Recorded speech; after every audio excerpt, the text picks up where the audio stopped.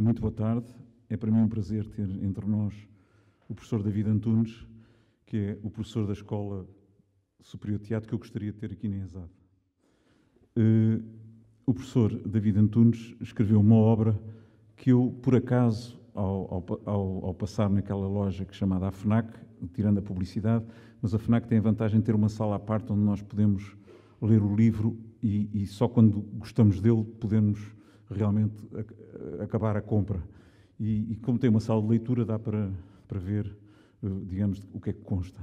E eu, um, um belo dia, ao ver entre os livros de filosofia, deparei-me com um título que era A Magnanimidade da Teoria. E o, o título surpreendeu-me. E então peguei no, eh, no, livro e fui lá para a sala de leitura e depois acabei por comprar e ler com, com imenso interesse. É justamente a tese de doutoramento do professor David Antunes e é um, eh, um livro uh, com uma enorme clareza. Ou seja, as ideias são claras e distintas, as citações compreendem-se e uh, percebe-se todo o livro, pode-se dizer, tratando de questões que não são questões fáceis, são questões de uma enorme ambiguidade e de uma enorme dificuldade, como todo e qualquer tema da tragédia é. Mas as citações eh, sobre o que é o erro trágico, a amartia, sobre o que é a noção de mimesis, que são noções, eh, de alguma maneira, que nos deparamos com uma enorme dificuldade, e justamente o professor eh, eh, David Antunes tem, entre outras citações, justamente uma de, um, especialista da tragédia, em que diz que justamente a questão da, eh, mimesis é quase indefinível, com certeza, ou seja, não estamos num terreno de certezas, estamos num, num, num terreno de dificuldades. A tese trata o, fundamento da tese é sobre a ação, a questão da ação, a partir de Aristóteles, a questão da, da, da justamente da do, do, que é que na ação uh, pode, uh, os obstáculos à ação, o que é uma ação livre. E justamente, se há um tema que, nos, que quem trabalha a tragédia tem, é justamente a questão do que é isso da tragédia, uh, da liberdade do herói. Será que, que, que, que, que os heróis são livres quando atuam? Será que há liberdade? Será que são meras marionetes, como muitas vezes nós dizemos?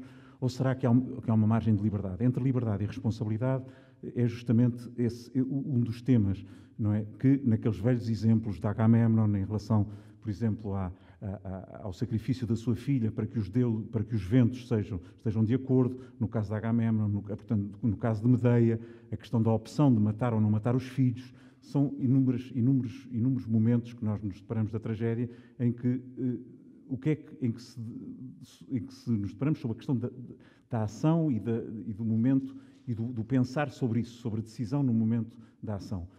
Se, se passarmos depois para, para, o mundo hebraico, será que Abraão eh, eh pensou ou foi livre quando mandou matar o filho? É? São, são imensas eh, questões que, que, fazem teses sobre, sobre isso. E é sobre essas questões, não, não muito eh, simples, que consta a, a, tese do professor David Antunes. Mas, como insisto, é um texto claro e eu gostava muito, se ele estiver de acordo, de, de falar um pouco sobre o, o, o, que o levou a escolher aquele tema e, e, um pouco sobre esse, sobre esse livro que tem esse título curioso de A Magnanimidade. O professor, o professor, o professor David Nunes é professor da Escola Superior de Teatro e, e, e doutorou-se justamente com essa tese. É, é, eu não sei, eu, eu escrevi uma coisa e estou hesitante se vou lê-la ou se vou. Eu vou tentar ler e depois vou controlando, eh, mas eh, as pessoas são livres de me interromper na leitura. Eu vou, vou tentar projetar, porque isto. Uh, não é preciso tempo e, vou tentar, e também vou controlando e vendo se quer desenvolver ou não uh, aspectos pontuais ou se desisto. Bom, eu vou começar. Eu dei a, este, a, esta, a esta conferência, a esta comunicação, um nome que é uma conferência sobre ética, porque o professor Diogo Dória disse-me que eu uh, queria que viesse aqui falar sobre ética.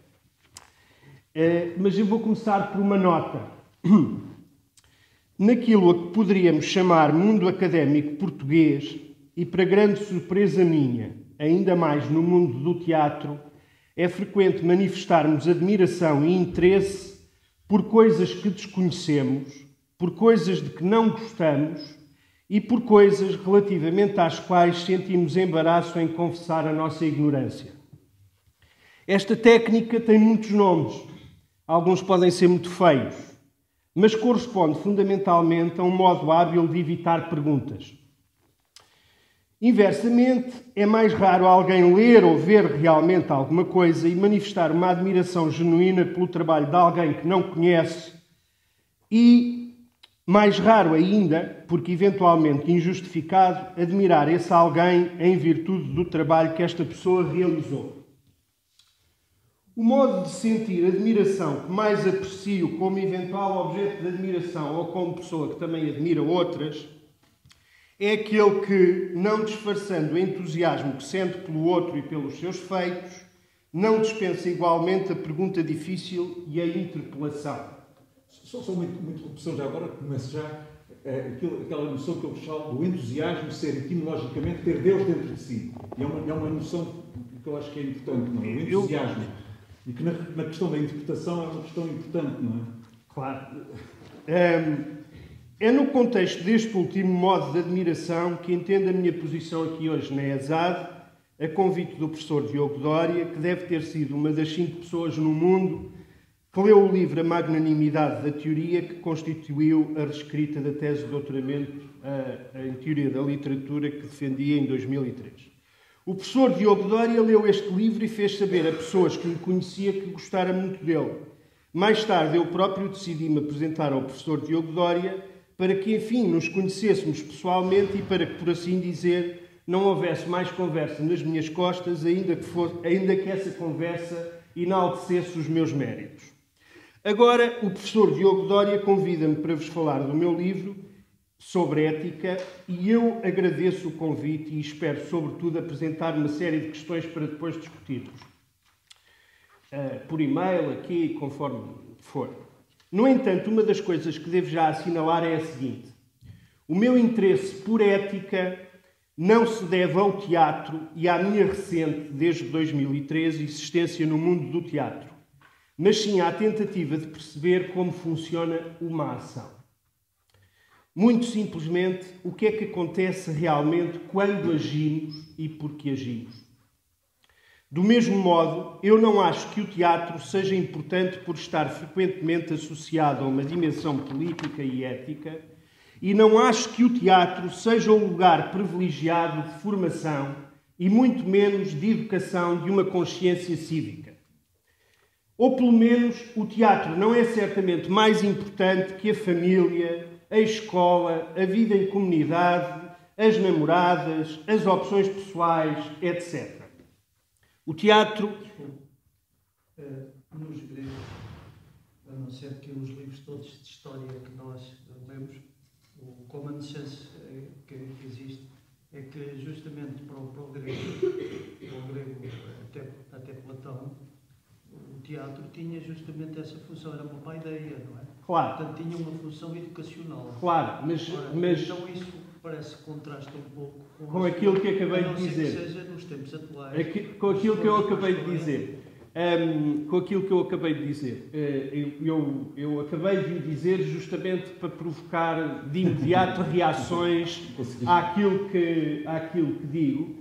E atenção que eu não disse que o teatro não tinha essa dimensão. Eu disse que essa dimensão não é por causa dessa dimensão que me interessa a questão ética e não é nessa eh, dimensão particular que a estou a ver e que eu vou aqui, explicar, que eu vou aqui descrever, digamos assim. Uh, o professor há bocado uh, disse que era professor, mas esqueceu-se de referir a qual era a cadeira eu devo ter sido a pessoa, devo ser a pessoa na Escola Superior de Teatro e Cinema que já lecionou mais cadeiras. Uh, porque uh, a quando, de, a quando de, de, uma coisa que os professores têm que fazer, que é uma espécie de relatório para passarem, para concorrerem, a, a, digamos assim, ao quadro, uh, tive que fazer uma resenha das cadeiras que já tinha dado, isto foi há cerca de 3 ou 4 anos. E cheguei à, módica, cheguei à conclusão de que já andava perto das 20 e tal. Portanto, é um bocado difícil dizer, embora, embora, uh, embora digamos que, para resumir a coisa, uh, eu esteja especialmente ligado a cadeiras de Teoria e de Filosofia da Arte, embora, e, e ultimamente acompanho muito projetos finais de alunos do terceiro ano ou de mestrado, sejam projetos práticos ou projetos teóricos.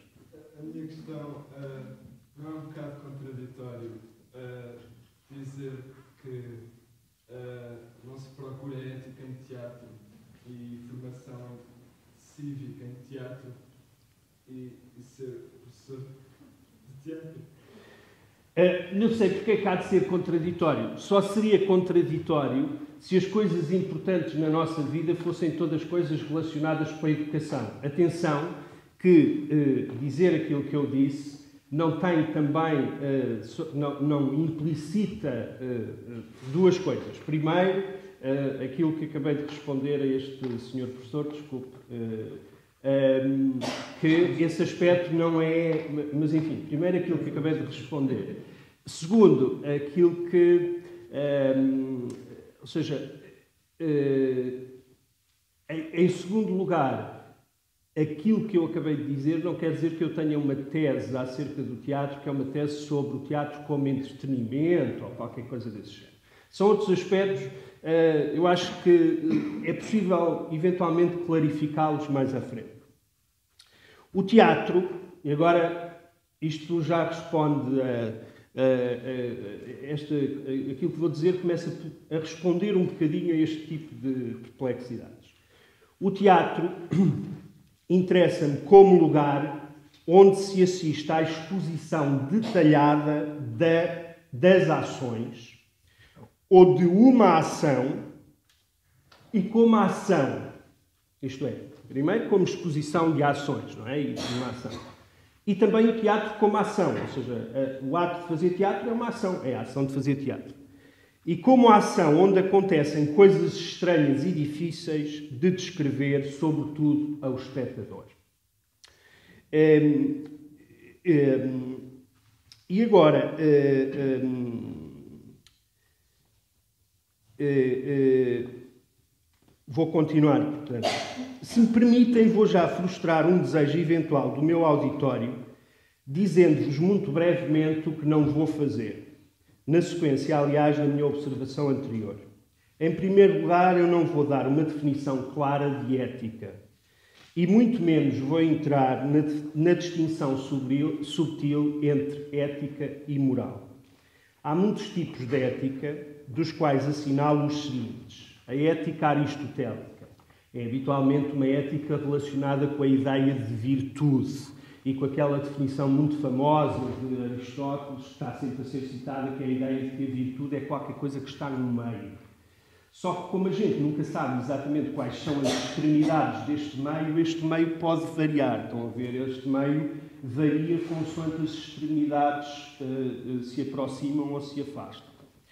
Outro tipo de ética muito, enfim, citada é a ética de matriz teológica não é? Que é a ética que se funda em, qual, em qualquer preceito de natureza teológica e que, em última análise, eh, assenta no ditame divino. Aquilo que é suposto fazermos é aquilo que Deus nos autoriza a fazer e aquilo que é suposto não fazermos é aquilo que Deus não nos autoriza a fazer. As pessoas podem perguntar, está bem, mas quem é que disse a Deus que. Eh, quem é que disse a Deus que eram essas coisas? Como é que ele teve certeza? Bem, os princípios da ética teológica são os princípios de Deus. Não se interroga Deus, como é óbvio. Deus é Deus, não é? Quer dizer, não, os fundamentos não podem ser interrogados. Outro tipo de ética é a ética kantiana, não é? Que é relacionada com o princípio categórico, que é aquela coisa de aquilo que eu fizer a alguém, estou a fazê-lo a toda a humanidade, digamos assim. Portanto, pensem, se eu, se eu faço uma coisa boa ao Diogo, eu estou, na realidade, não apenas a fazer ao Diogo, mas à humanidade inteira no Diogo. Do mesmo modo, se eu lhe fizer uma coisa má, eu estou a fazer a toda a humanidade uma coisa má. Estão a perceber? E, portanto, isto é complicado. Se eu agora der uma canelada ao Diogo e pensar que não estou a dar apenas uma canelada ao Diogo, mas estou a dar uma canelada à humanidade, a malta pensa duas vezes antes de o fazer, porque eu não quero dar uma canelada à humanidade. Estão a perceber? Um, outro tipo de ética é ética utilitarista, enfim, uma quantidade enorme de éticas, mas eu não vou entrar nesses pormenores. Há, contudo, um aspecto fundamental da ética que é assinalado por alguns pensadores contemporâneos, um deles é um senhor do princípio do século XX chamado Wittgenstein, eh, que nos diz que no domínio da ética, como estudo acerca do bem e do moralmente correto, digamos assim, é impossível fazer juízos de valor absoluto e só é possível fazer juízos de valor relativo. O que é que isto quer dizer? Isto quer dizer que não é possível dizermos, por exemplo, que matar uma pessoa é, em todas as circunstâncias, mal. E também não é possível dizer que salvar uma pessoa é, em todas as circunstâncias, bom. Ora, este problema, que é um problema sério, evidentemente, eh, diz-nos que uma ética absoluta é uma coisa de nonsense. Estão a perceber? Não, não, não existe, não nos leva a lado nenhum. Isto significa que a ética é, deste ponto de vista, circunstancialista, ou seja, tem a ver com as apreciações que fazemos do momento, com a ação que estamos a realizar e exige de nós uma grande competência nesta coisa de o que é que estamos realmente a fazer. O que é que eu estou realmente aqui agora a fazer? Não é? Provavelmente, se eu tivesse pensado nas objeções imediatas que a minha afirmação provocatória tinha feito, se calhar tinha moderado o meu ímpeto. Estão a perceber? No sentido em que o que é que eu estou a fazer? Esta coisa do que é que eu estou a fazer torna-se o pensamento fundamental da ética numa convicção, que é uma convicção aristotélica, que é esta. E este é o primeiro ponto que eu queria deixar claro. Aristóteles está convencido, aliás, na sequência de, de, dos seus mestres, do seu mestre Platão e Platão na sequência do seu mestre uh, uh, Sócrates, Aristóteles está convencido que não adianta nada dizer às pessoas façam isto, não façam isto, é melhor por aqui, é melhor por ali.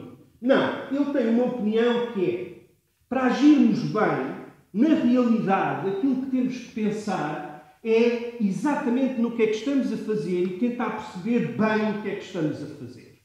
Porque, um exemplo, vamos imaginar que eu. Uh, uh, uh, vamos imaginar. Eu, eu, queria ter aqui. Eu hoje queria ter aqui uma garrafa de água para dar uma série de exemplos, mas não tenho. Paciência. Um, vamos imaginar que eu acho que devo matar uma pessoa. O que Aristóteles diz é: eu não vou dizer a esta pessoa, olha que matar é muito mal. O que Aristóteles diz é: já pensaste bem no que é que estás a fazer quando estás a matar uma pessoa? Ou quando estás a matar essa pessoa, aquela pessoa. Estão a ver?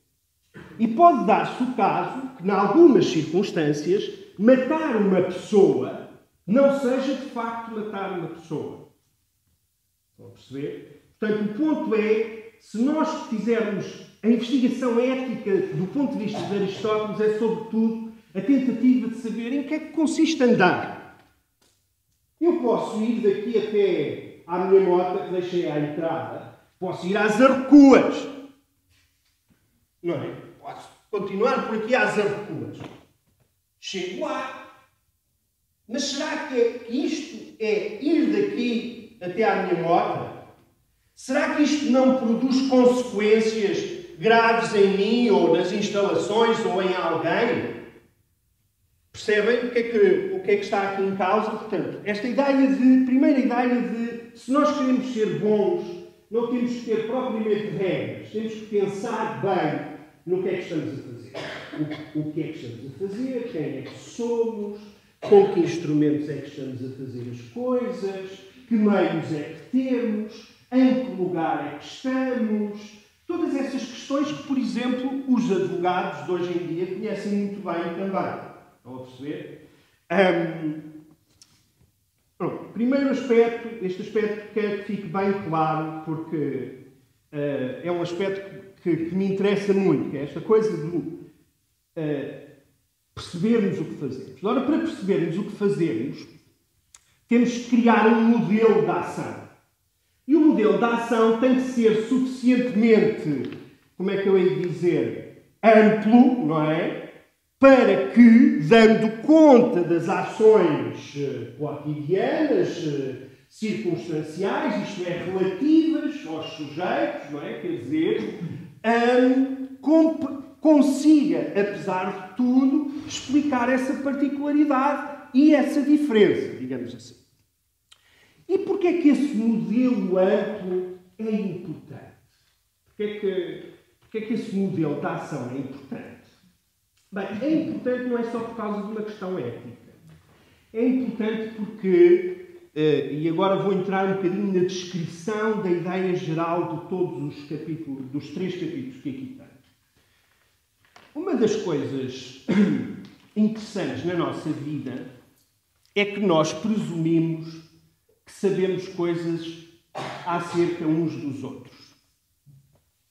Isto é, nós achamos que sabemos não só o que é que os outros são, como o que os outros fazem e o que é que querem fazer. E eu acho que presumimos bem. Mas na realidade, reparem que não temos muitas razões para isso. O que é que vocês sabem de mim? O que o Diogo Dória vos afirmou? O que eu respondi ao vosso ao, ao amigo, desculpa o seu nome, ao, ao Ivo, mas quem é que vos garante que eu não tive aldrabar por 20 disciplinas? Tu acreditas mesmo? é, o que é que eu sou? Um super-herói da. Mas é, conhecem-me há. há 10 minutos que aqui estamos. É, razões é que os senhores e as senhoras têm para achar que eu estou de boa fé, por exemplo. Que eu sou uma pessoa de boa. Eu sou, garanto-vos isso. é, mas reparem que isto é uma coisa mais séria. E reparem que não é uma, não é uma coisa que a gente possa atirar logo assim, pôr logo de lado esta questão. Então, uma das razões que nos leva a pensar que somos aquilo que pensamos dos outros e que mostramos e que achamos deles, é justamente a ideia de que uh, conseguimos prever ou conseguimos antecipar de alguma maneira o agir de cada um de nós. Ou seja, eu acho que ninguém estava à espera, apesar da excentricidade que possa ter, de chegar aqui e ouvir uma pessoa a falar sobre uh, Suzuki GCX uh, 750. Estão a perceber? Ou seja, vocês anteciparam de alguma maneira um conjunto de coisas que eu ia fazer, que quero fazer. E nós fazemos isto entre nós cotidianamente, de maneira a não nos surpreendermos excessivamente uns com os outros. E porquê é que não nos queremos surpreender excessivamente uns com os outros. Bem, não nos queremos surpreender. Esta, esta parte é que é a parte mais bela. Nós não nos queremos surpreender excessivamente uns com os outros porque temos medo de isso nos dizer que estamos sozinhos no mundo. E se de repente, reparem que, como é que isto se mostra. Isto, isto mostra-se de uma forma muito fácil. Reparem, todos os dias nas notícias nós vemos, infelizmente, pessoas, enfim, que voluntária e involuntariamente, consciente inconscientemente, fazem coisas absolutamente terríveis. Ou coisas absolutamente nobres. Eu vou-vos dizer que a primeira ideia que tive para este livro foi uma ideia que não teve nada a ver com Aristóteles, não teve nada a ver com teatro, e é uma ideia que estes senhores aqui mais velhos que aqui estão talvez se recordem muito bem. Nos anos, salvo erro, nos anos 90, houve um empresário na zona de Viseu que teve muito sucesso nos seus negócios e que decidiu, imaginem vocês, dar um Honda HRV a todos os seus empregados. Que eram no número de 60. Eu não sei se alguém se lembra aqui disto. E eu, eu, eu vi aquilo e pensei assim. Quem é este tipo? E depois, quem sou eu? Ou seja, não é preciso desatar, matar metade da assistência. Ou seja, a excepcionalidade no agir obriga-nos a repensar a nossa posição enquanto, ser, enquanto pessoa. Estão a entender ou não? Obriga-nos a repensar a nossa posição enquanto eu. A questão da ética está relacionada com uma questão muito mais vasta e mais complexa, que é a questão da identidade pessoal. O que é, que é a identidade pessoal? A identidade pessoal responde mais ou menos a esta questão, que é quais são as condições mínimas, os critérios básicos para que eu possa dizer que, quando eu digo eu, hoje aqui, este eu equivale ao eu de ontem e equivalerá ao equivalerá, uh, uh, equivalerá ao eu de amanhã. Reparem que isto parece uma questão estúpida novamente, mas não é. Imaginem que o Cristiano Ronaldo tinha um acidente esta noite e que tinha que ser amputado o pé esquerdo. O Cristiano Ronaldo da manhã seria a mesma pessoa do Cristiano Ronaldo de hoje? Alguns dizem, ah, é o pé esquerdo, pá, sabes que o gajo é melhor. Mas eh, faz-te conta que agora era também o pé direito. Ora, a amputação dos órgãos é equivalente à excentricidade da ação. Eu acho que todos nós, nas situações íntimas, uma vez por outra, já dissemos à outra parte: porque tu não me conheces. Tu não és a pessoa que eu conheci. É, tu não és a mesma pessoa. Não és a mesma pessoa. Como é que é isso? Não és a mesma pessoa. Estão a perceber? Porque a pessoa fez qualquer coisa, enfim, que, excedeu a nossa compreensão, já não está dentro dos parâmetros que tínhamos dos, do modelo de ação que tínhamos uh, construído. Ora, então a necessidade de criarmos um modelo de ação é só para sermos bonzinhos. E para compreendermos como é que fazemos e para sabermos o que é que é agir. Não, a necessidade de construir um modelo de ação resulta do facto de nós termos que ter certeza acerca da nossa existência enquanto tal. E acerca da existência do outro. É um, e depois, como todos nós agimos assim, na realidade por um interesse egotista que é garantirmos a nossa existência, tacitamente não dizemos isto ao outro, mas somos todos generosos, querendo também cumprir o, desejo do outro. Estão a ver? É um equilíbrio entre este interesse em conhecer o outro e a generosidade de oferecer índices de interpretação do meu comportamento. Estão a ver? Ou seja, eu podia estar a dizer exatamente as mesmas coisas a fazer o pino se fosse capaz. Mas vocês achariam, no mínimo, uma coisa bizarríssima e estranha.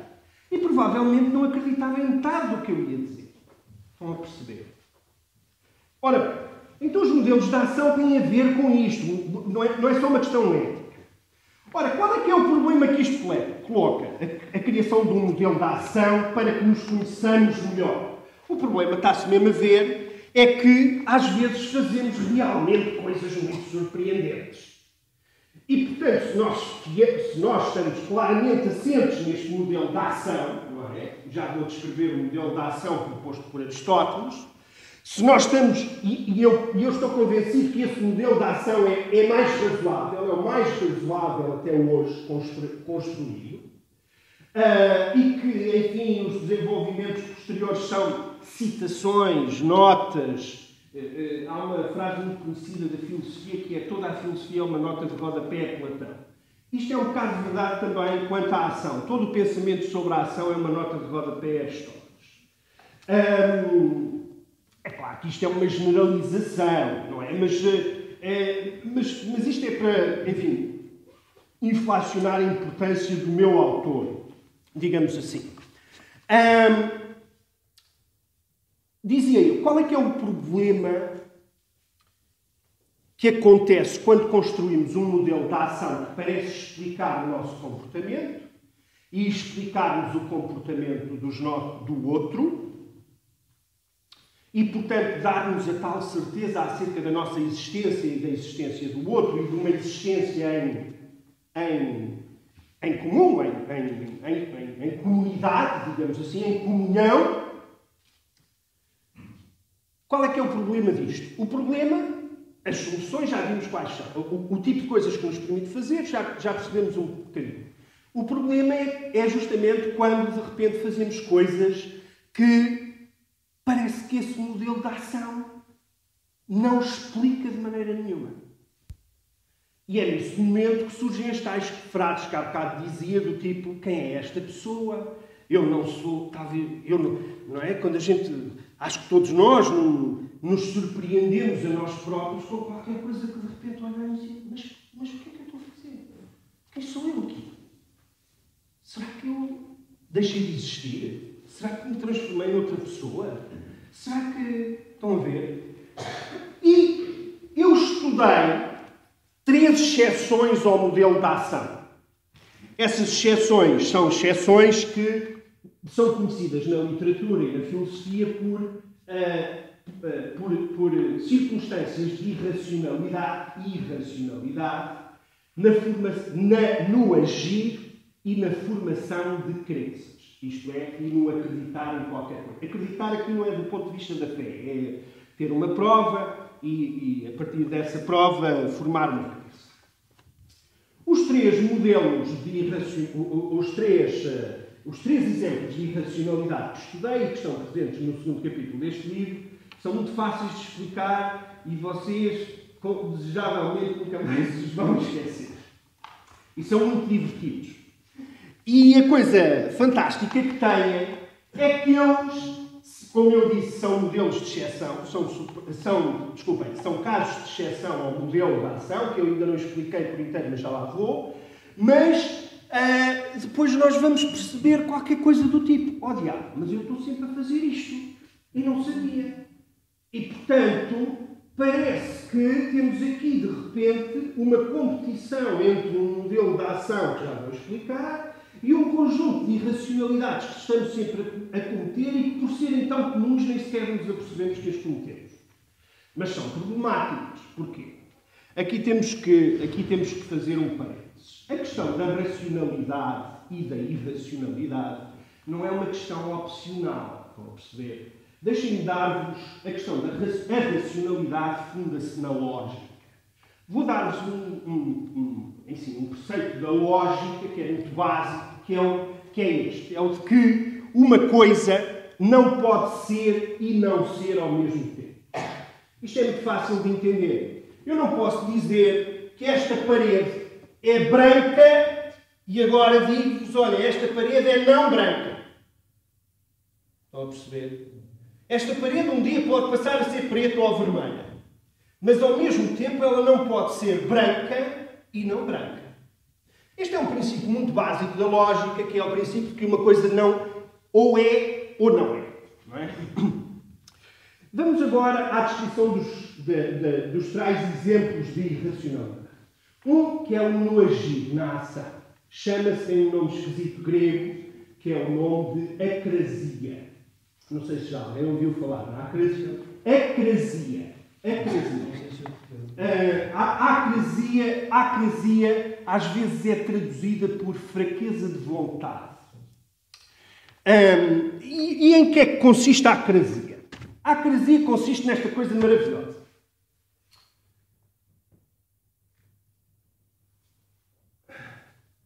Numa situação de liberdade,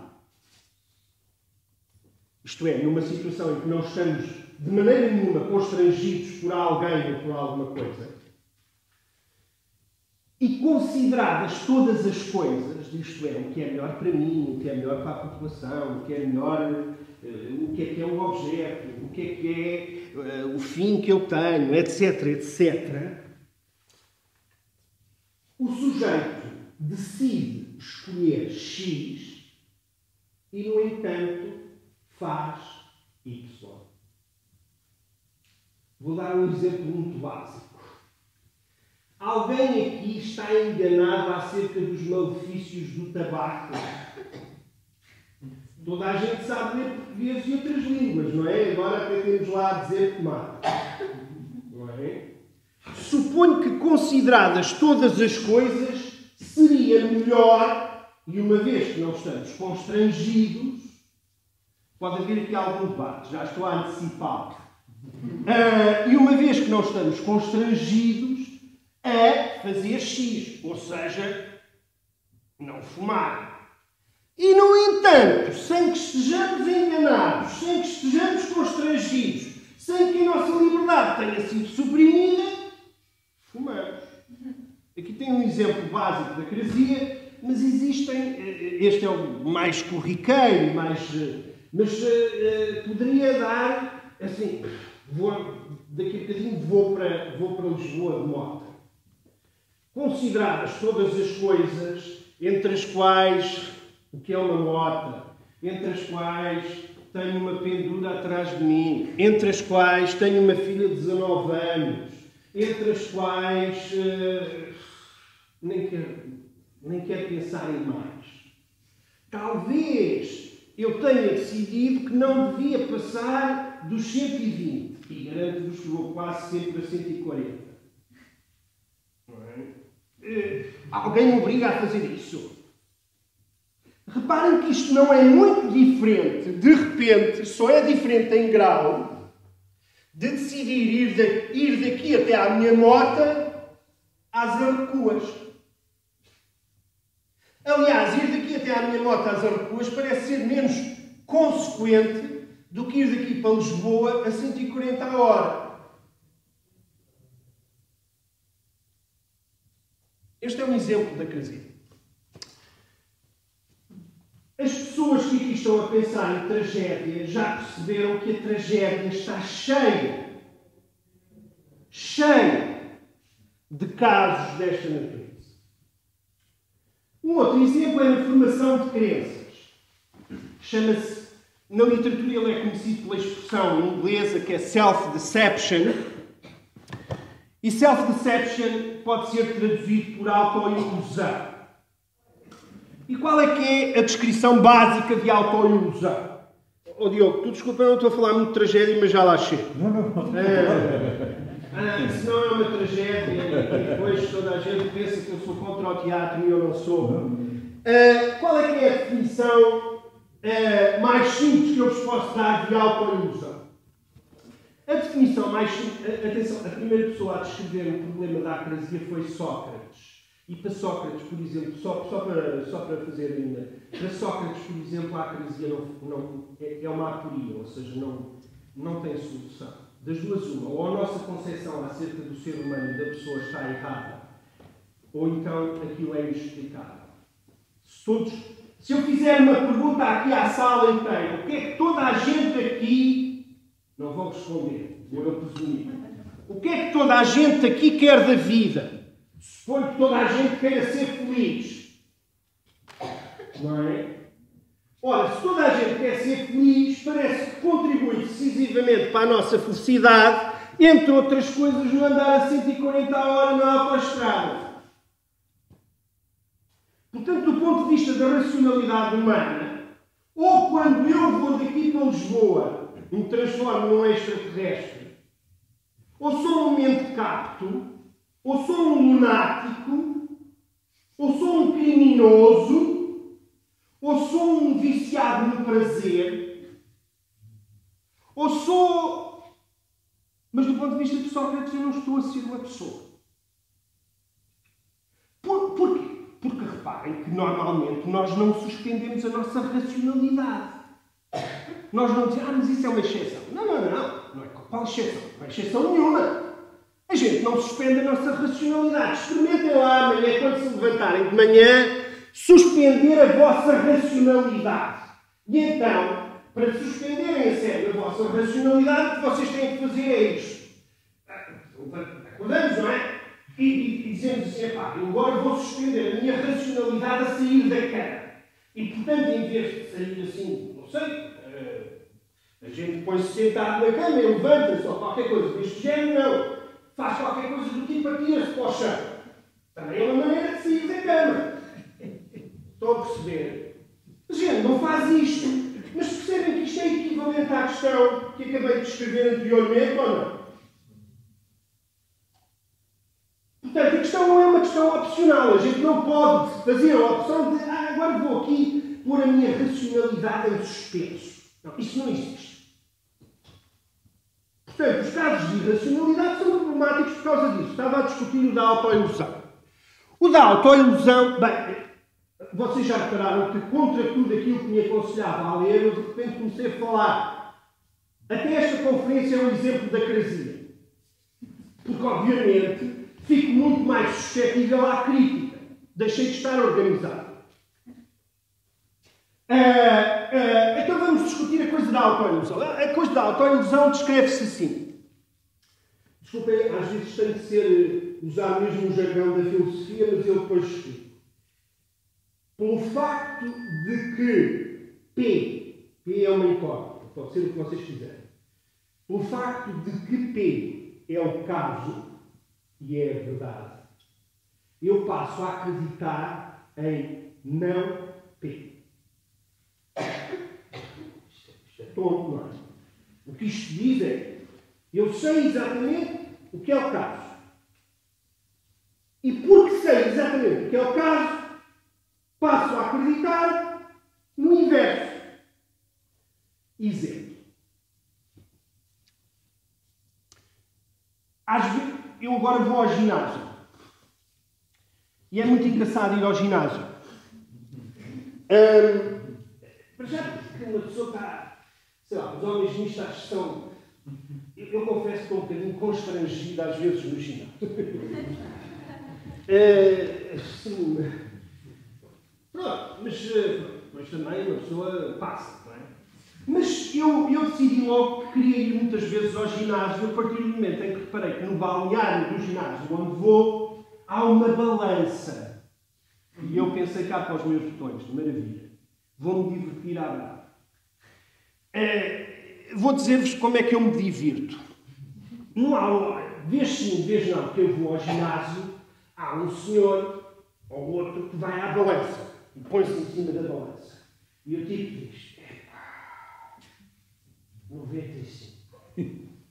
Esta coisa está sempre estragada. Não pode ser. E depois vem outro senhor que. Não, desculpa, mas eu não peso isto. O interessante aqui não é a pessoa estar a negar a balança. O interessante aqui é que esta negação decorre do facto de que a pessoa sabe efetivamente que a balança não está a enganar. Este aqui é o ponto interessante. Entendem? Não há nenhum problema em a gente negar as evidências. Ah, isso temos que fazer. Não! O problema é quando a gente nega as evidências para construir uma crença inversa das evidências que acabou de negar. Entendem? Isto, isto é uma coisa levada do diabo, a gente está sempre a fazer isto, não é? Estamos sempre a fazer isto. Olha, eu estou, mas uh, se calhar sou só eu. Uh, uh, reparem que é muito fácil depois começarmos a criar equações entre o funcionamento da autoilusão e a acrasia, não é? Eu leio no maço tabaco, fumar mata. Ah, não mata nada. Estás a perceber? Viver mata. Hã? Viver mata. Exato, viver mata, exatamente. E depois arranjamos uns, uns companhões de route para a nossa formação de crença inversa, certeza. Uh, muito obrigado pela, pela, pela, pela intervenção. Uh, uh, ora, reparem uma coisa. Pensem no nosso amigo Édipo. Pensem no nosso amigo Édipo. Não é? Nosso amigo Édipo a certa altura, tem a certeza, ou tem um grau de certeza muito suficiente, corrijo-me que eu se estiver enganado, de que vai matar o pai e casar com a mãe. E ele pensa assim: estão aqui os meus pais, o melhor para isto não acontecer, os pais adotivos, o melhor para isto não acontecer é eu, eu afastar-me deles. Mas nós, vocês não estão a ver como isto é um processo de autoilusão a funcionar? Porque, evidentemente, se eu ficasse ao pé dos pais, da mesma maneira que era capaz de os matar, era capaz de, se tivesse vontade forte, de evitar matá-los. Depois, numa encruzilhada, numa questão de debate, zumba. Lá vai o Diogo Dória, que afinal não é o Diogo Dória, é o, o, o, o, o Lai. Então ele não pensa que matou uma pessoa? Então ele não pensa que lhe foi dito que provavelmente, ou muito provavelmente, ia matar o pai? Depois chega, não é? Chega lá a Tebas, um especialista na decifração de enigmas. Um homem que é especialista a decifrar enigmas não é capaz de decifrar o enigma que ele é. Então ele anda a dormir uma quantidade de tempo com uma mulher, uma rainha, certamente mais, um bocadinho mais velha do que ele, e nunca lhe pergunta, ouve lá, o teu marido Uh, o que é que aconteceu ao teu marido, pá? O que é que. Epá, nós somos reis, eu, pronto, eu casei contigo, mas uh, nunca lhe perguntei isso. Não, não há conversa de. Não, não quer saber. Não casal qualquer.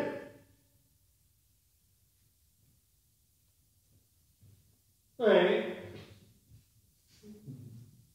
Parece que é, para mim parece que é. Não interessa isso. Então e nós quando recebemos os exames médicos e deixamos lá a cartinha em cima que não queremos ver? E que sabemos muito bem o que é que já lá está.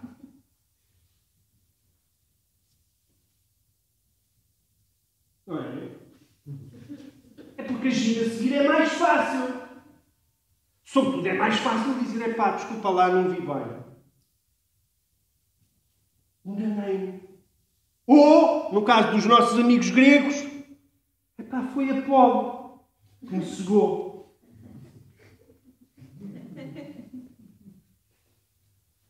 Mas quem é capaz de construir este pensamento acerca de Apolo não é capaz de construir este, este pensamento acerca de si próprio? São perguntas, evidentemente. Disse que havia três, vou ao terceiro. O terceiro é designado na literatura por wishful thinking.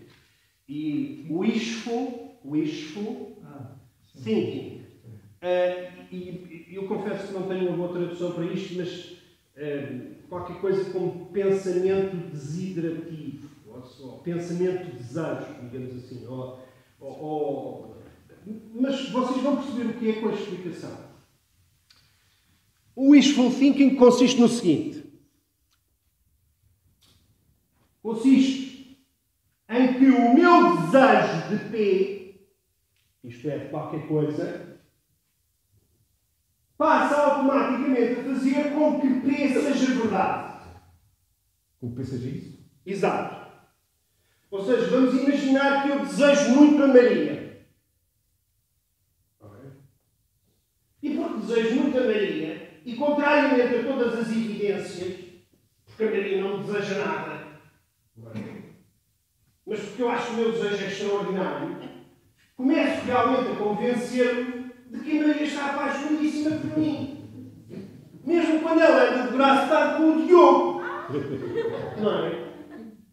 Mesmo quando o Diogo me diz, pá, estás a ser inconveniente, desculpa lá. Eu digo, pá, tu estás a ser sério, porque eu Reparem que o wishful thinking é interessante a vários níveis e é uma coisa muito estudada recentemente, por exemplo, no foro médico. Porquê? Porque não é necessariamente mau. Isto é um ponto interessante.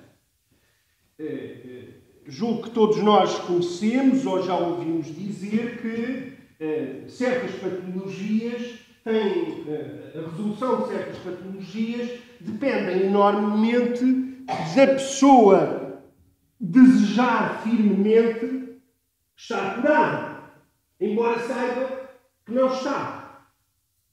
Não é? Ou seja, o wishful thinking. Agora, nós temos que estar com cuidado em relação ao wishful thinking. Porquê? Porque o problema do wishful thinking é que elege o nosso desejo como medida da realidade. Os desejos são coisas boas. Mas as coisas não são boas porque as desejamos. Não! As coisas são boas e nós desejamos-las. Percebem a diferença? Isto é, lá pelo facto de eu desejar gelados, um quilo de gelados, digamos, por dia, isso não torna um quilo de gelados por dia bom. Das duas, uma. Ou um quilo de gelados por dia é bom ou não é, e eu desejo ou não. É, este aspecto é um aspecto importante, que obviamente tem muitas. Rapidamente criamos ilações também no domínio trágico a este respeito.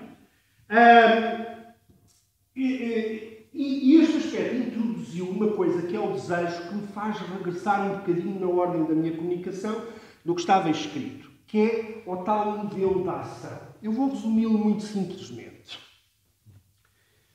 Reparem que. Voltamos ao bocadinho. Voltamos talvez um bocadinho atrás. Estou muito chato.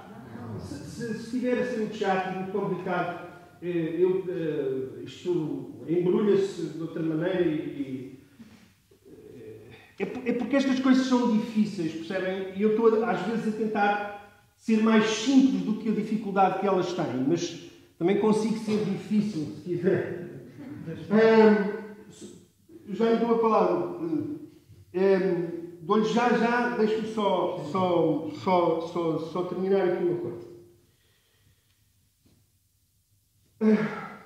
A questão do wishful thinking colocou como aliás a questão da, da, da, da, da, da autoilusão como aliás a questão da acrasia, talvez já vos tenha mostrado alguns aspectos que são essenciais no tal modelo da ação do Aristóteles que eu ainda não descrevi.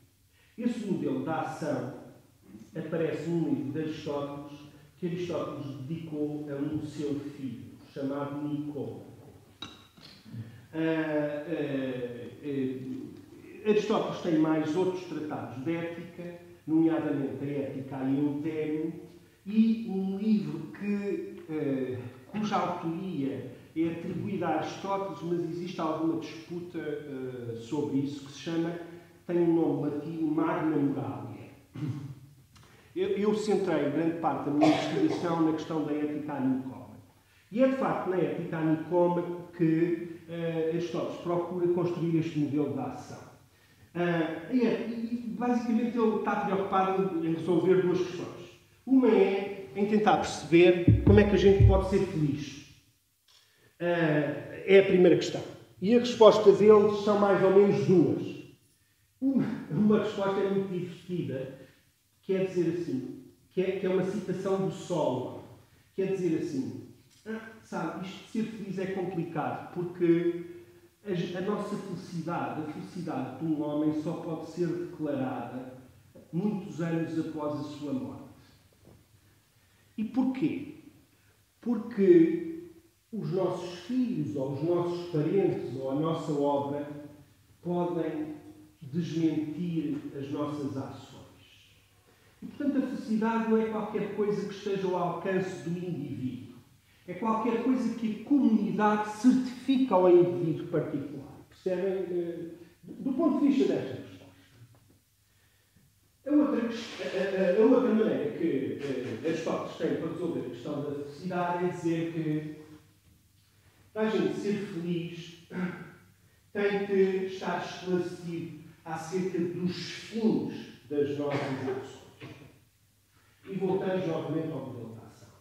O modelo de ação proposto por Aristóteles, o principal deste modelo de ação, uh, centra-se numa distinção que ele quer fazer entre uh, o que é que é um ato voluntário e o que é que é um ato involuntário. Isto é o centro da argumentação.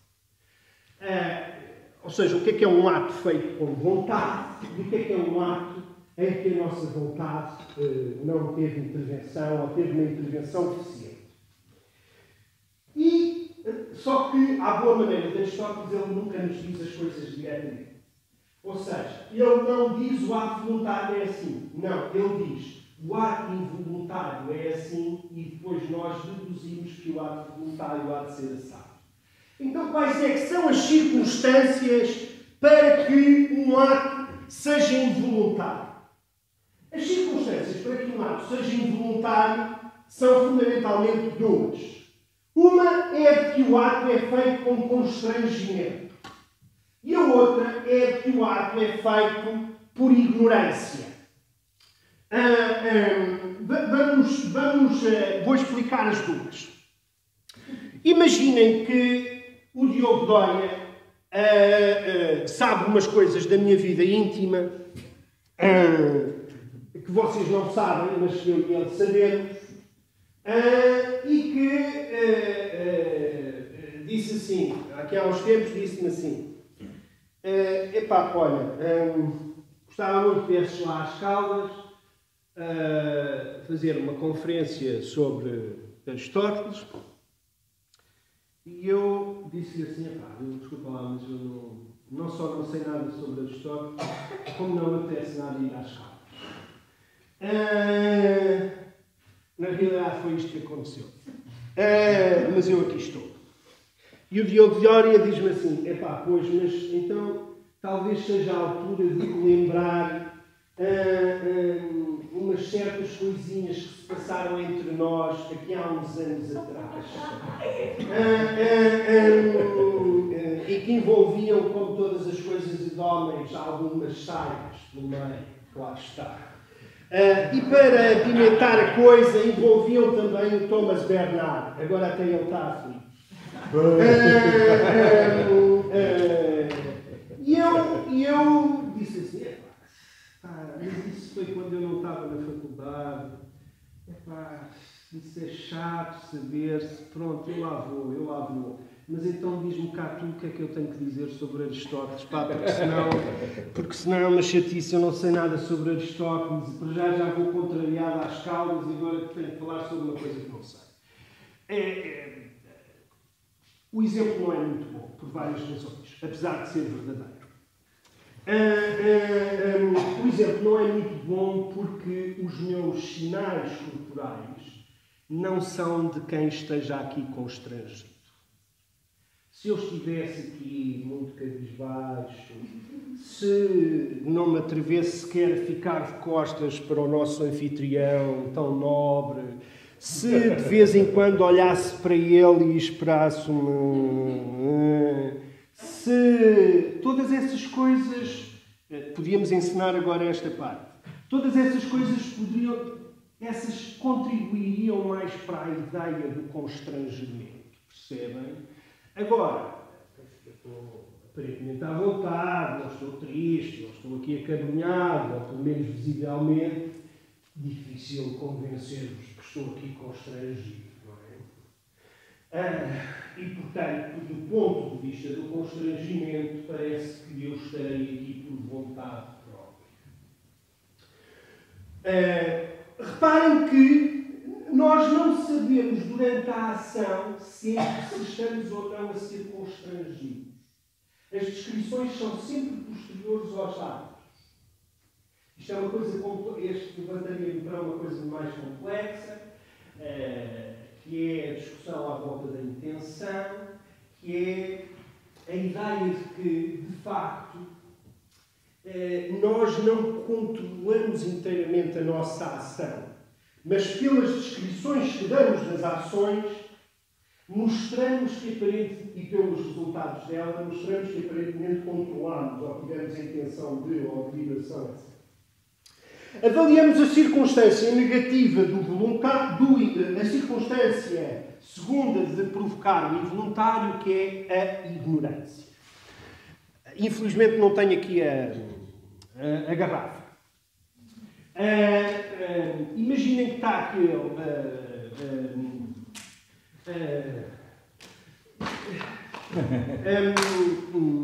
Imaginem que está aqui esta garrafa e tudo indica que isto é uma garrafa de água, uh, serve estrela, uh, parece uma garrafa de água, tem um aspecto de água, o líquido não chega, na escola aprendia-se que a água era, como é que se dizia, inodório, odor e insípidas. Uh, enfim, o inodório e o insípido agora já é uh, predicados debatíveis. Ah, e eu, naturalmente, pego na água que me foi posta aqui pelo nosso anfitrião Diogo Dória, que aparenta gostar muito de mim, mas, enfim, temos contas passadas a ajustar. E ele, que sabe que eu uso sempre este exemplo da algebeira, pôs nesta água, pôs nesta garrafa uh, um líquido uh, altamente nocivo para a saúde, que vai destruir o meu esófago e, em última análise, uh, o meu sistema digestive. Escusado será dizer que, independentemente de eu ter tido a intenção de beber água e de ter bebido água, não foi voluntariamente que a bebi. E, no entanto, parece que eu tive vontade de a beber. Mas esse caráter voluntário é afetado pelo facto de eu não eliminar uma série de coisas importantes acerca do quê? Lembram-se do início desta conferência? Acerca do que estava a fazer. Ou seja, a ação de beber água. Só que dizem vocês, mas que raro. Só que não era só a ação de beber água. Era a ação de beber água, era o que eu sei do Diogo Dória relativamente a mim. Todas essas coisas deviam ter interferido neste ato. Ou seja, quando eu bebo água ao lado do Diogo Dória, porque sei estas coisas que se passaram no passado, eu bebes primeiro um bocadinho. Sabes que o cavaco tem, tem, tem, tem sempre alguém que bebe comer aquilo, sabe disso? É, por razões óbvias, não é? Ou seja, então perceberam de que modo é que, e vamos, e depois os sinais não são só de meus, também são do Diogo, que é aquele quando eu estou quase, não é? Lembram-se da célebre cena um, Lembram-se da célebre cena do Hamlet a fazer o teste ao, ao tio, não é? Deixa cá ver, deixa cá ver como é que vai ser, o que é que ele vai fazer, não é? Ele não sabe, mas ele agora vai descozer-se todo. Estão a ver como é que estas coisas funcionam? Bem, então, deduz-se, portanto, inversamente, que o ato voluntário é aquele que é feito sem constrangimento e no conhecimento possível das coisas importantes que há relacionadas com a ação. Ora, vocês já perceberam, por causa da explicação que eu dei há 20 minutos atrás acerca dos fatores de irracionalidade, que nós armadilhamos muitas vezes voluntariamente o nosso conhecimento. Nada sobre o Diogo Dória e ver. E olha, paciência. Estão a entender? É... Então, mas agora pensemos. Eu estou quase a terminar. Quase. Mas, agora, mas, mas posso terminar já se estiver a ser chato. Mas agora pensemos. Apesar de tudo, prefiro que sejas tu a bebê-la. Ah, hum, mas talvez depois do que eu acabo de dizer, ah, é melhor não. Ah, mas agora pensemos. Mas em que é que isto nos diferencia dos animais?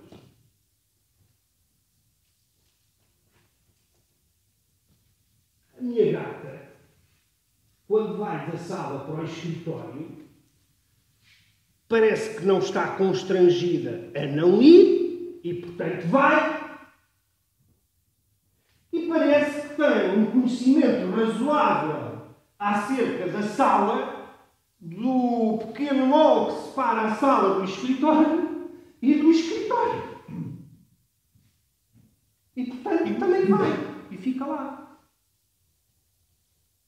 Portanto, como é que eu diferencio este movimento meu de ir da sala para o escritório do movimento da minha gata de ir da sala para o escritório?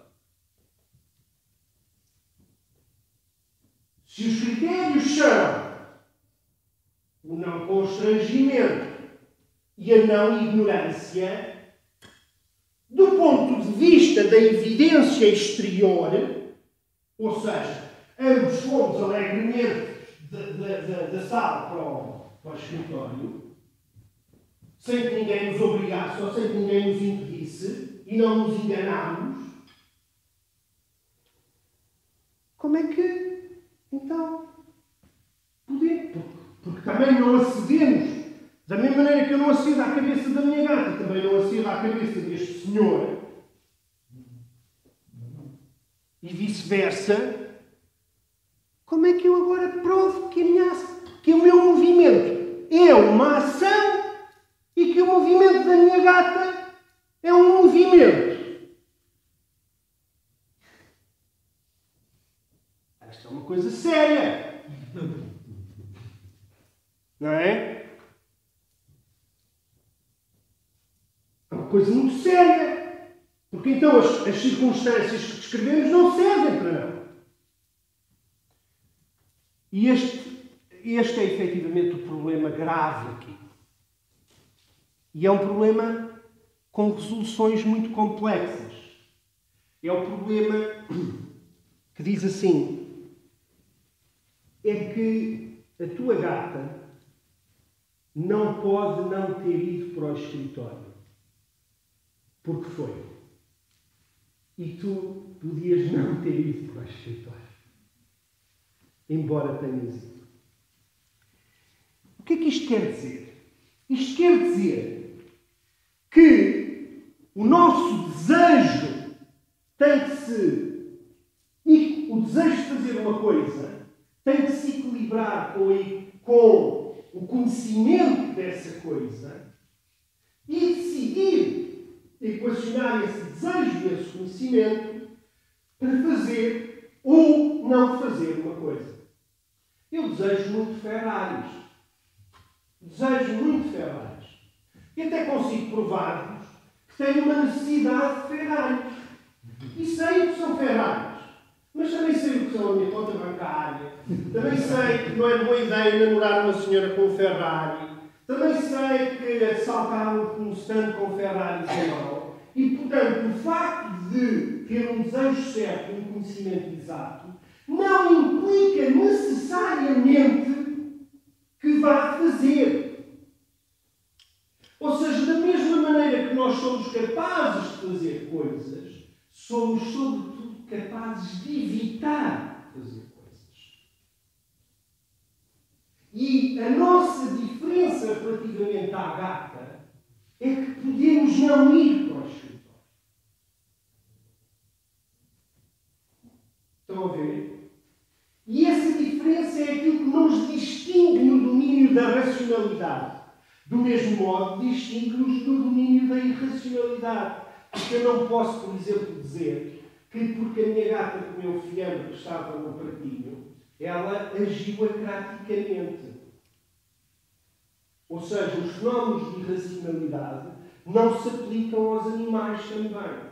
Aquilo que nos distingue dos animais não é nós sermos racionais e eles serem irracionais. Não, é nós sermos racionais e irracionais e eles serem não racionais. O silêncio diz-me que existem muitas dúvidas aqui acerca deste fenómeno. Vou tentar ajudar a resolver estas dúvidas com um pequenino pormenor. Que tem a ver com uma coisa que é, a nossa, que é os nossos pensamentos. Os nossos pensamentos. É assim, eu olho para a minha gata. Pá, minha gata. Pá, aliás, tenho aqui no telemóvel em plano de. Pá, penso assim, pá, ela sabe mesmo o que é que eu estou a pensar e eu sei mesmo o que é que tu estás a pensar. Da mesma maneira que olho para vocês e, e tento perceber se estão a gostar do que estou a dizer, se não, se estão a duvidar. Exatamente a mesma coisa. Só que há aqui uma coisa diferente do ponto de vista. Se isto é razoável, é, julgo que é. Todas as pessoas que viram animais acho que consideram isto razoável. Mas só que agora temos que considerar uma coisa adicional. É que o pensamento das pessoas é um, tem um funcionamento que na literatura se designa por funcionamento holístico, com H. O que é que isto quer dizer? Isto quer dizer que eu olho para este senhor e ele olha para mim e eu consigo, com um certo grau de razoabilidade, presumir coisas que ele está a pensar e ele consegue mais facilmente porque eu estou a debitá-las. Só que, quando eu olho para este senhor e presumo coisas que ele está a pensar e vice-versa, na realidade essas coisas não são independentes de um conjunto enorme de outras coisas que são o facto de ele ser um homem, de estarmos aqui numa sala, das cadeiras serem verdes, de, uh, de vocês estarem sentados, de eu estar de pé e já começar a sentir uh, uh, dores de costas, de, do Diogo Dória estar a rir, etc, etc, etc. É isto é o funcionamento holístico do pensamento. Ou seja, um, os nossos pensamentos nunca são singulares, percebem? Os nossos pensamentos originam-se e formam-se em cadeias sintáticas enormíssimas de pensamentos, quer nós não temos, quer não. Ora, se isto é assim, e tem alguma razoabilidade para ser, e parece, agora eu já tenho algo, por mais que eu goste da minha gata, eu tenho alguma dificuldade em pensar que ela está a pensar que sim, eu gosto mesmo de ti, tu és um homem, chamas-te David, uh, uh, vives numa casa com quatro assolhadas, és pai, por aí fora, por aí fora. Esta parte é uma parte mais complexa da questão, estão a ver? E é neste ênfase na racionalidade humana isto é, na maneira como nós equacionamos desejo e conhecimento, e na maneira como, equacionando desejo com conhecimento, decidimos fazer, ou evitamos fazer, ou fazemos o contrário contra todas as evidências, que, em última análise, se situa a grande diferença deste modelo de ação quando aplicado para descrever as nossas ações e os nossos comportamentos, e um modelo de ação para explicar, por exemplo, os movimentos dos animais. É,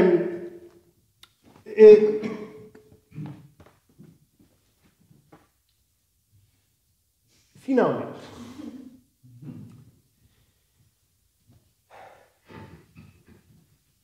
então, o teatro e a tragédia.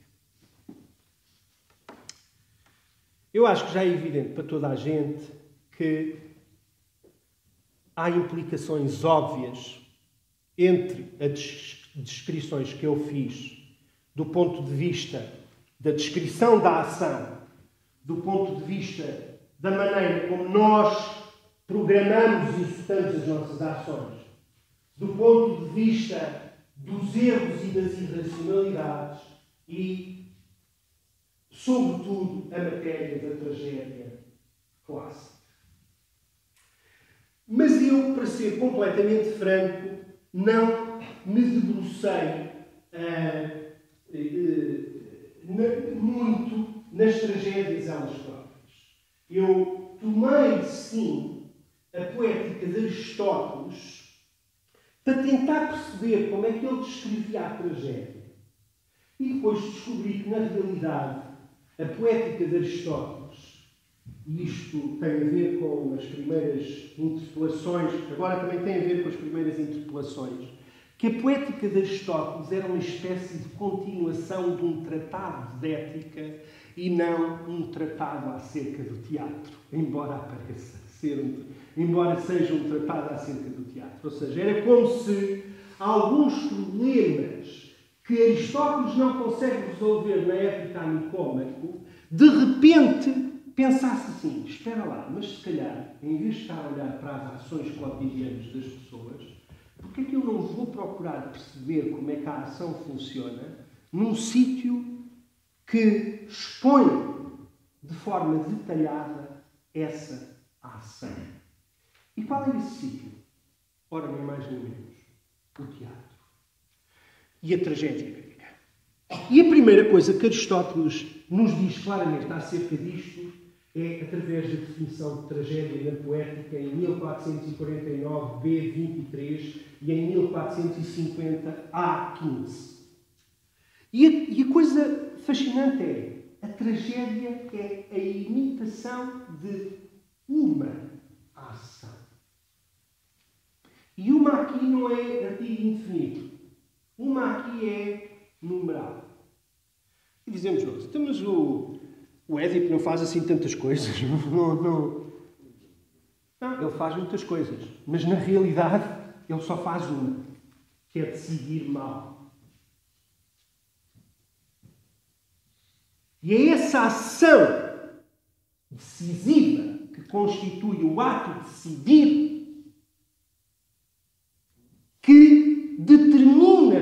sempre a existência do Édipo.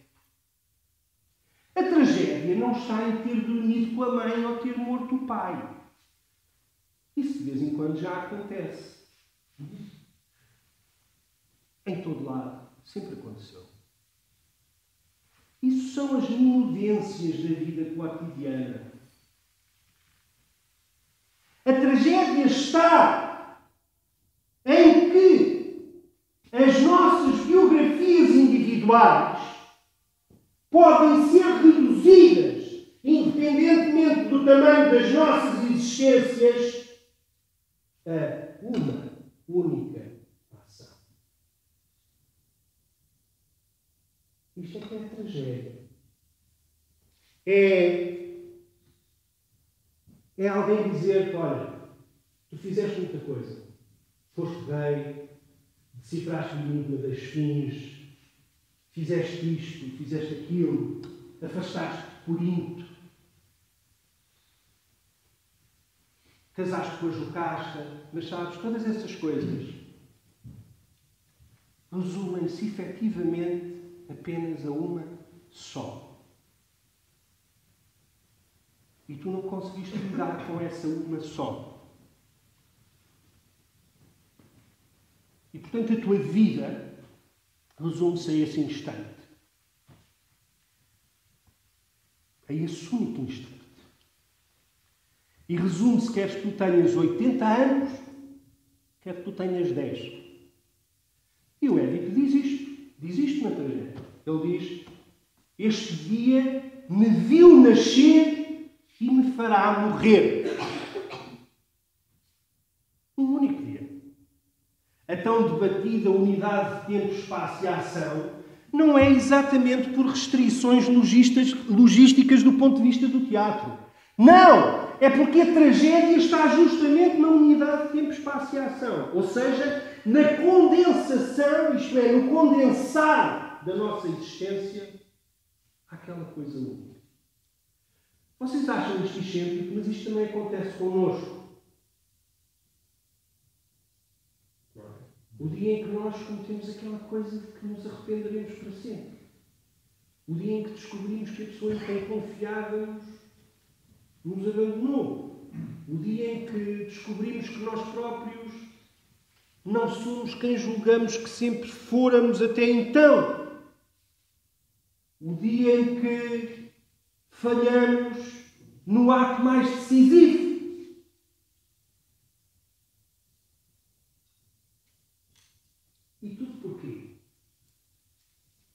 Do início.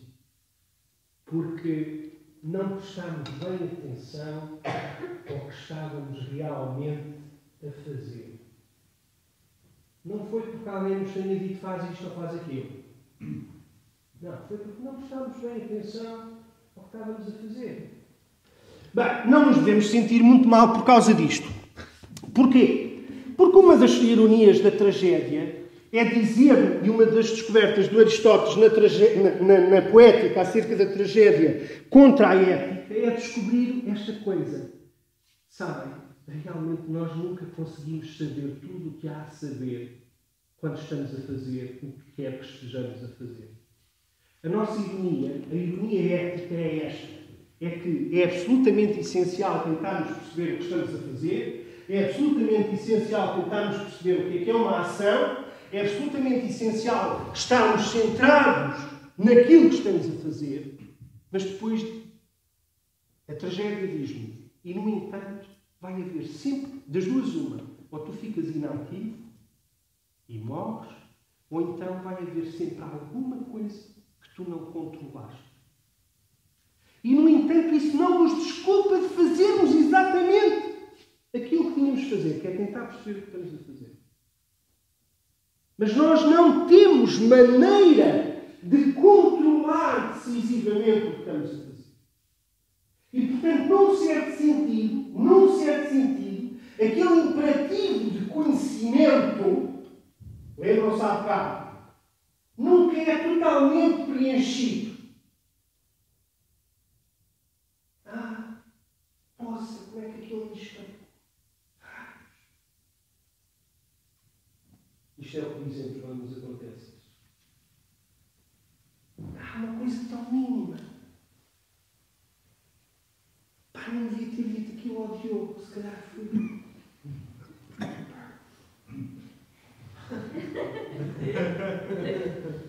Isto, isto é aquilo que eu vou pensar quando daqui a 10 anos pensar assim, epá, depois daquele dia 7 de maio de 2015 nunca mais me convidaram para as.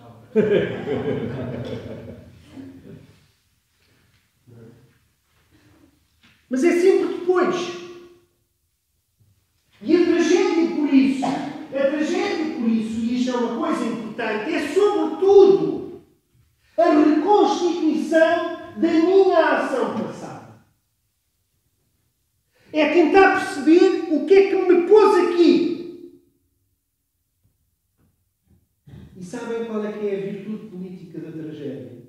Não é dizer faz isto ou faz aquilo. Não. É dar a noção de posição. Ser político é saber estar na cidade, viver na cidade, viver na polis. É saber orientar-nos.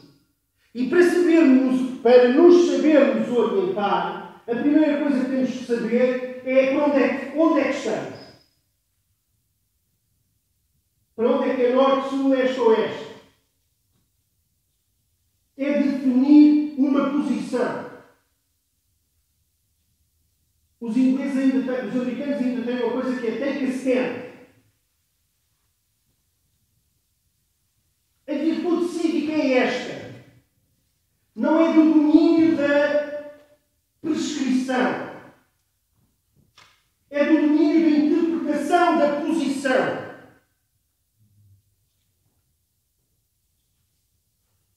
É? Este dia me fez viver e me fará morrer. Vamos ver? Finalmente.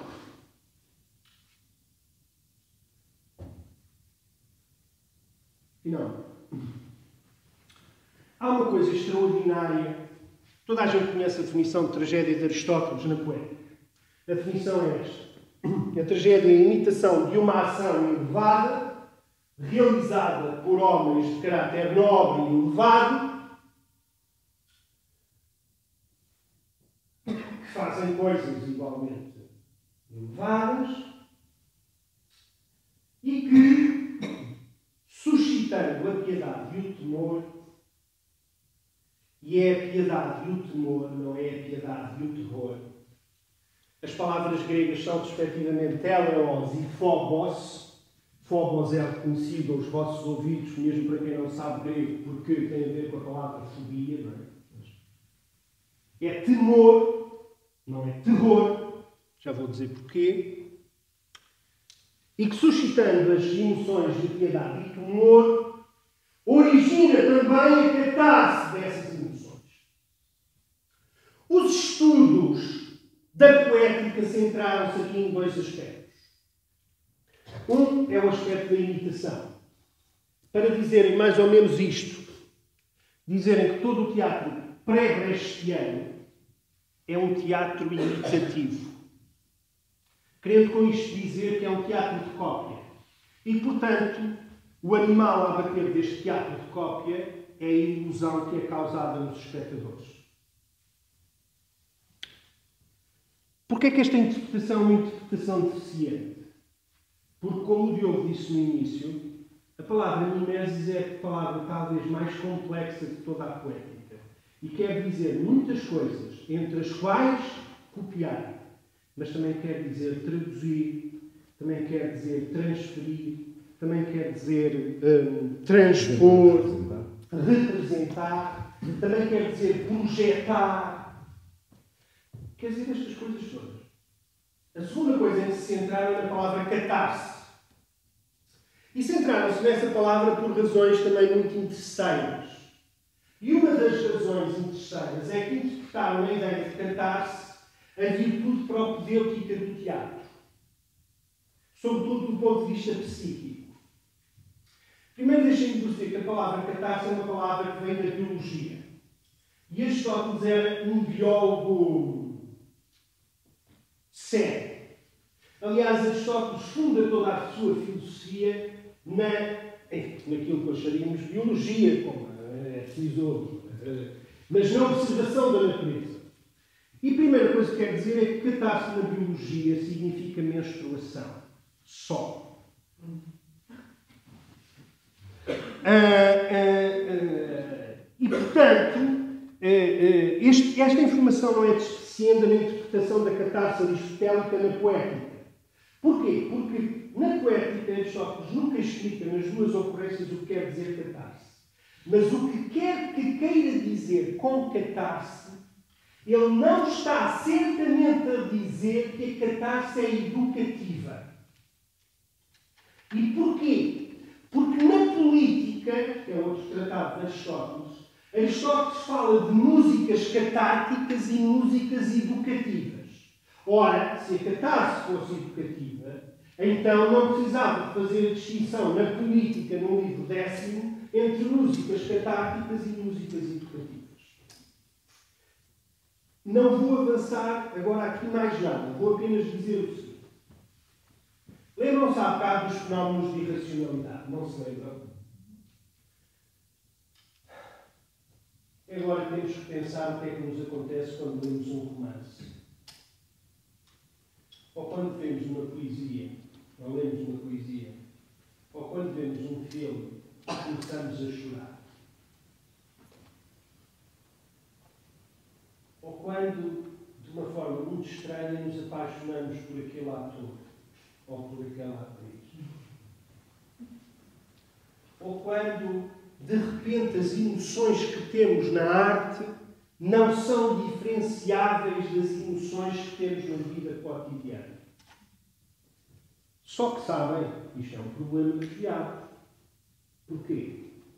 Porque, evidentemente, constitui um dos fenómenos de irracionalidade que disse no início. Porquê? É muito fácil de provar. Se agora aqui alguém chegar, de repente entra na sala e vem aqui e diz ao Diogo: Diogo, tens que chamar-os a vida à parte porque aconteceu uma coisa à filha dele.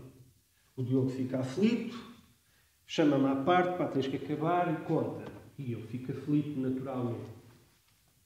Ou seja, da formação da crença X, que a minha filha teve qualquer coisa, há uma emoção correspondente que é a tristeza, a apreensão, etc. Ok?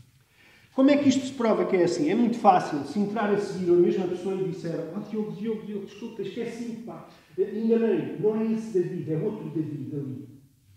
Pá, eu gosto imenso do outro David ali. Pá, mas esta emoção desaparece. Este exemplo é um exemplo de Aristóteles na retórica e chama-se Teoria Cognitiva das Emoções, que basicamente diz que, ao contrário de Platão, as emoções para Aristóteles não são sem porquê. Não, são com porquê. Não, não existe essa coisa de chorar sem porquê. Quando as pessoas choram sem porquê é porque têm algum desequilíbrio no seu funcionamento hormonal, mas é uma coisa física. As pessoas choram porquê? Porque extraíram, porque se esqueceram, porque não conseguem suportar a vida, porque uma quantidade enorme de coisas. Ora, isto faz sentido, não faz? Só que agora, então, e de repente estamos a chorar porque a Meryl Streep e o Clint Eastwood deram um beijinho e, e vão-se embora. O que é que aconteceu aqui? Voltamos ao princípio, não foi? De repente a arte.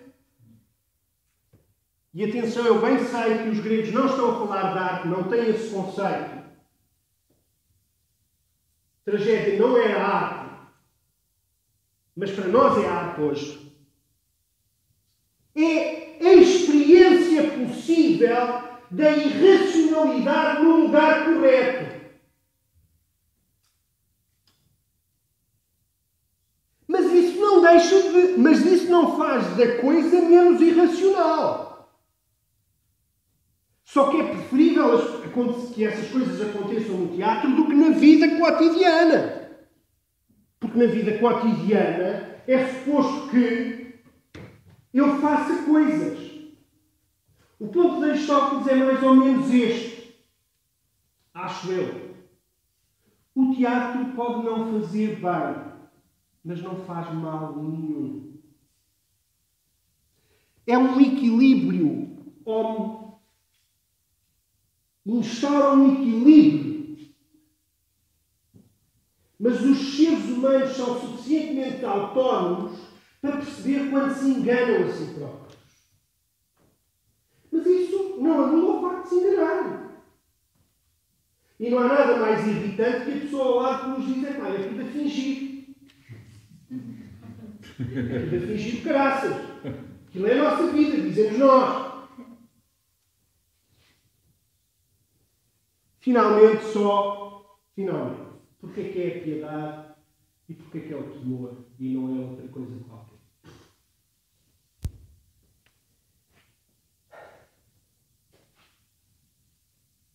é que,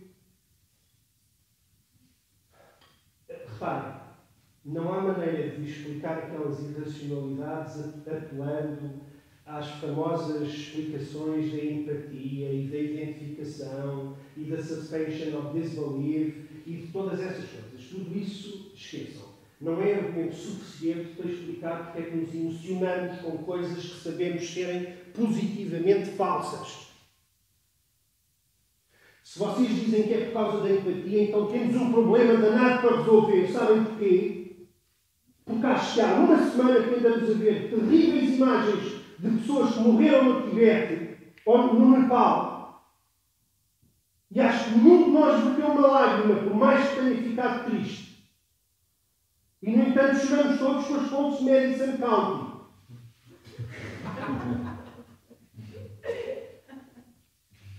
Eu não estou a dizer que estamos errados, estou a dizer que isso acontece e é uma irracionalidade. E talvez a experiência da arte seja aquele momento em que nos mostra que isso faz parte da nossa existência. Que temos que contar com Ele. Porquê que é a piedade e porquê que é o temor e não são outras coisas? É que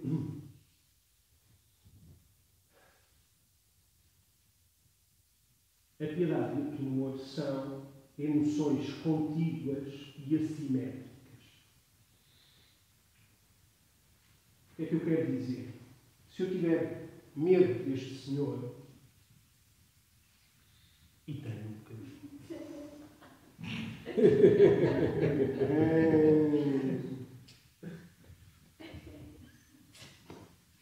Daquele tenho definitivamente.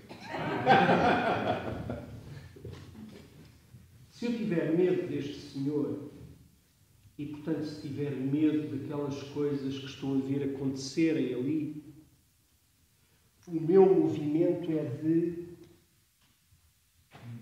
afastamento. E este afastamento corresponde à ativação do meu instinto de preservação. Porque ele afeta a minha integridade. Pode afetar a minha integridade. Eu ao bocado tive medo dele. Ele queria falar e eu disse: Já já lhe dou, já lhe dou. Tenho esperança de ter resolvido a dúvida no processo. Mas isso foi medo, foi afastamento. Estão a ver? Porquê? Porque por enquanto ainda quero dominar isto.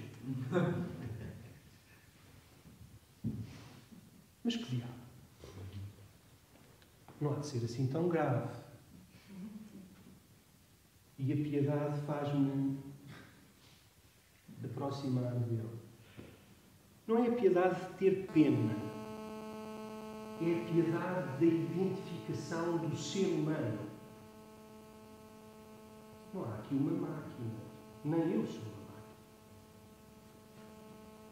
Então, se o temor nos afasta daquilo, se nos tenta preservar, a compaixão e a piedade aproximam-nos daquilo. E no exercício desta dilema, encontramos ou tentamos definir mais uma vez uma coisa para a qual chamei aqui a atenção, que é a posição correta. Há lá coisa mais necessária na nossa vida de comunidade do que definirmos e sabermos qual é a nossa posição correta. Eu tenho muita dificuldade em saber. E tenho que fazer um esforço cotidiano para definir. E isso faz-me afastar de certas coisas. E faz-me aproximar de outras coisas. Minhas senhoras e meus senhores, muito obrigado a todos. Estou aberto a questões. Não precisam de bater palmas. No final batemos palmas a todos. Não quero prolongar-me mais. Muito obrigado por me terem. É assim, a última coisa que disse, curiosamente, fez-me lembrar uh, o conceito de, de, piedade, que eu penso que nos gregos uh, tem claramente uma matriz religiosa, não é? Aliás, se a gente for para, o, para, o, para aquele do, do sagrado, do, o nome do, do, Mas sim, tem. Tem uma matriz religiosa. Exatamente. Quer dizer, e, portanto coincide um pouco com a, com, com a leitura que hoje temos da, justamente do Sagrado, essa esse duplo movimento de afastamento e de aproximação. Portanto, é horroroso, mas ao mesmo tempo é fascinante. Horroroso é o temor. Deixe-me só, deixe só dizer uma coisa. A razão porque é incorreto, ou não é tão correto assim, traduzir ou definir por terror, é porque o terror, pelo contrário, ou o horror, tende a paralisar os sujeitos, percebem?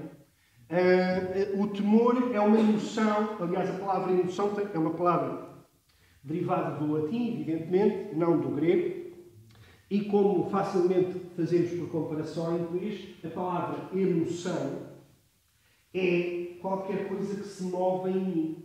Por isso é que é motion, ver, em inglês, e portanto, a emotion é um movimento a partir de. É, era só isto que queria. Pronto, agora, é, gostei muito da sua comunicação, que é muito, muito rica e, e abre-nos por muitas dimensões. E claro que o teatro tem, fica aqui muito bem colocado, mas eu pensei há pouco um bocado da, também na psicanálise. Curiosamente, claro, descobri claro. uma relação claro na, na sua exposição. É, portanto, a psicanálise também sabe aquela frase do Freud onde está o with ou o where. Exatamente. Essa, essa, essa busca da, da maior racionalidade possível. É, é, interessante. Agora, há uma coisa. Agora vou ser eu a, a, a, a interrompê-lo. É, Lembra-se há bocado, eu disse, e o senhor, e alguns, entre os quais o senhor também, não é? Porque está aqui mais próximo de mim, portanto, eu disse. Uh, não, não, não. Uh, uh, eu disse qualquer coisa do tipo, desde Aristóteles até hoje, não houve um pensamento tão sistemático acerca da ação e, de algum modo, depois são desenvolvimentos, etc. E houve aqui uma banana de cabeça e aí algum silêncio. Havia, havia um pormenor a este. Sabem, qual é, sabem quem é que foi a pessoa que introduziu alterações decisivas neste modelo de ação descrito por Aristóteles? É Freud, evidentemente. E, e, e é Freud, porquê?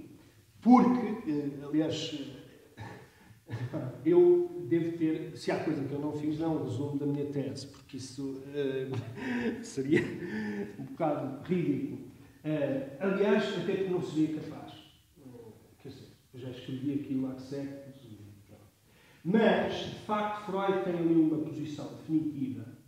Lembram-se que eu há bocado disse que estas questões estão relacionadas com uma ideia que temos acerca de nós próprios e acerca do que é a pessoa. Ora, a posição de Freud a este respeito é uma posição definitivamente extraordinária. Porquê? Porque a, a, a, a, ideia de pessoa que Freud apresenta é totalmente distinta da ideia de pessoa que emerge dos gregos e que ainda é aquela que orienta as nossas existências. E qual é que é a diferença fundamental? É muito simples. A diferença fundamental tem a ver com o eu. A diferença fundamental tem a ver com esta ideia de que o eu constitui a centralidade da minha identidade. Estão a ver? E é um eu único. Ora, o Freud vem dizer é que, esqueçam, não existe essa coisa de um eu central. Existe um eu descentrado, mas não existe um eu centrado e centralizador. E por conseguinte, a explicação da ação que ele dá quer concordemos ou não concordemos com ela, é alternativa. Porquê? Porque alarga substancialmente o, a extensão daquilo. Lembram-se dos exemplos de irracionalidade que eu vos dei? É evidente que algumas destas coisas que eu vos disse são explicáveis uh, recorrendo ao vocabulário e à documentação freudiana. Ou são é... chutadas para canto. Hã? São chutadas para canto, para o inconsciente. É, mas, mas, mas tudo, sim, é, é, verdade, são chutadas para canto. Mas atenção que não, mas atenção que este canto é um canto poderoso. Eh, deixem-me-vos dar um exemplo que é muito divertido, que é o exemplo do jardineiro e da vizinha elegante. Se não vos estiver a aborrecer, podemos terminar. É, a sério.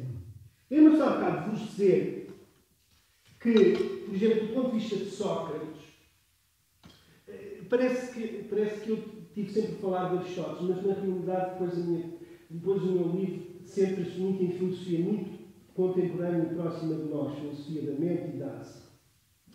E em autores uh, uh, contemporâneos, nomeadamente um autor americano chamado Donald Davidson. Uh, um,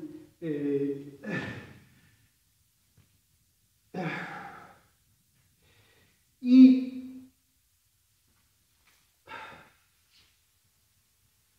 e por exemplo, quando o Donald Davidson é parecido ao Sócrates, ele, ele não consegue explicar. Ele, ele não consegue, nos termos da filosofia ocidental, digamos assim, nos termos da racionalidade, tal como Aristóteles a descreve, e que parece que tem lógica, se a gente pensar esta parede não pode ser e não ser. E de facto nós agimos nesse, nessas fronteiras. Ele não consegue explicar, por exemplo, a acrasia. Aquela coisa de decidirmos fazer X e porque decidimos fazer X fazemos.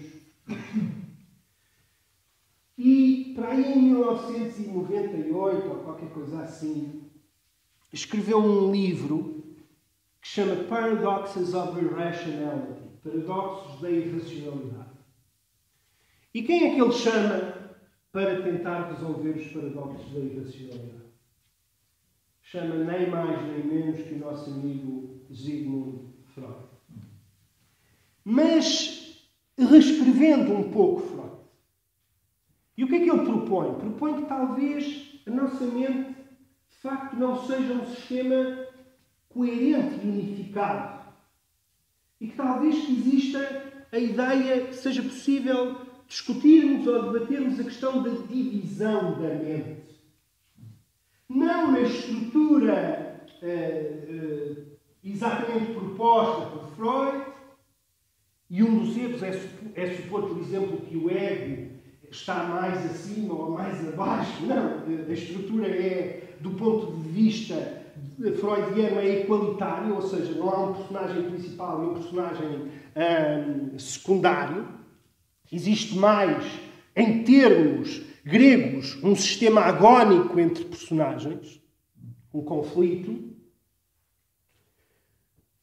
Não, dizia eu, dentro destes parâmetros, mas experimentando qualquer coisa deste tipo.